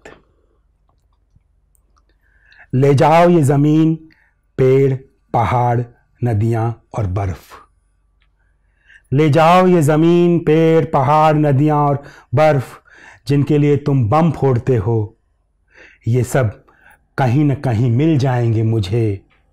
पिता फिर कहीं नहीं मिलेंगे। जिस जगह गाड़े थे मैंने अपने दूध के दांत, उसी जगह गाड़ आया हूँ पिता को, धमाके के बाद जिनकी सिर्फ़ उंगली मिली थी। शादी की अंगूठी से पहचाना था माँ ने। उनकी बाकी देह को मैंने कल्पना में दफन किया जैसे बाकी देह को स्मृति में प्यार करूँगा। सुना है मर के पिता पेड़ बन जाते हैं। क्या बात है। सुना है मर के पिता पेड़ बन जाते हैं छांव देते हैं। मेरे पिता उंगली बन गए जो उठती रहेगी तुम्हारी ओर मिट्टी के नीचे से खामोश जागती सोचती उंगली। क्या बात है। बहुत शुक्रिया गीत जी। बहुत बहुत धन्यवाद। हमारे परिवार में शुरू से ही संघ और जनसंघ की हवाएँ खूब चली थी और इन्हीं हवाओं के बीच मैंने सांस ली थी। स्वाभिमान तो और व्यक्तित्व की लड़ाई मुझे लड़नी थी। अच्छा माँ के घर लौट आई तो वहाँ भी संयुक्त परिवार था दो भाइयों का परिवार था उनके बीच अपनी जगह बनानी थी। कि मेरा जो शुरुआती कहानियाँ थी, उसमें मेरा अपना जीवन ही आत्म अभिव्यक्ति है, आप बीती ही है। और एक समय ऐसा आया कि मुझे लगा कि मैं आदिवासियों के लिए चली जाऊँगी, झारखंड उदारीकरण के बाद से आप देखिए कि हर जगह पुलिस छावनी बन गया है, हर जो आदिवासी एरिया है। हर एक किलोमीटर के अंदर पुलिस चेक पोस्ट है, क्यों है? अब मैं देख रही हूँ कि दो महिलाओं के बीच एक साड़ी है। तो इससे बढ़ के सत्य और क्या होगा मेरे सामने? जब मेरी माँ को पता चला कि मैं धर्म गुरुओं पर लिख रही हूँ तो उन्होंने कहा कि तुम्हें और कोई टॉपिक नहीं मिला क्या? एक बेचते ही उखड़ गई थी मुझसे कि आप बहुत खोद खोद के पूछ रही हैं। तो उनको विश्वास में लेना तो मुझे डी क्लास करना पड़ता था खुद को। लॉबिंग करते किसने कहा? हो ही नहीं सकता ये। मेरे बारे में ऐसी इमेज नहीं बन सकती है।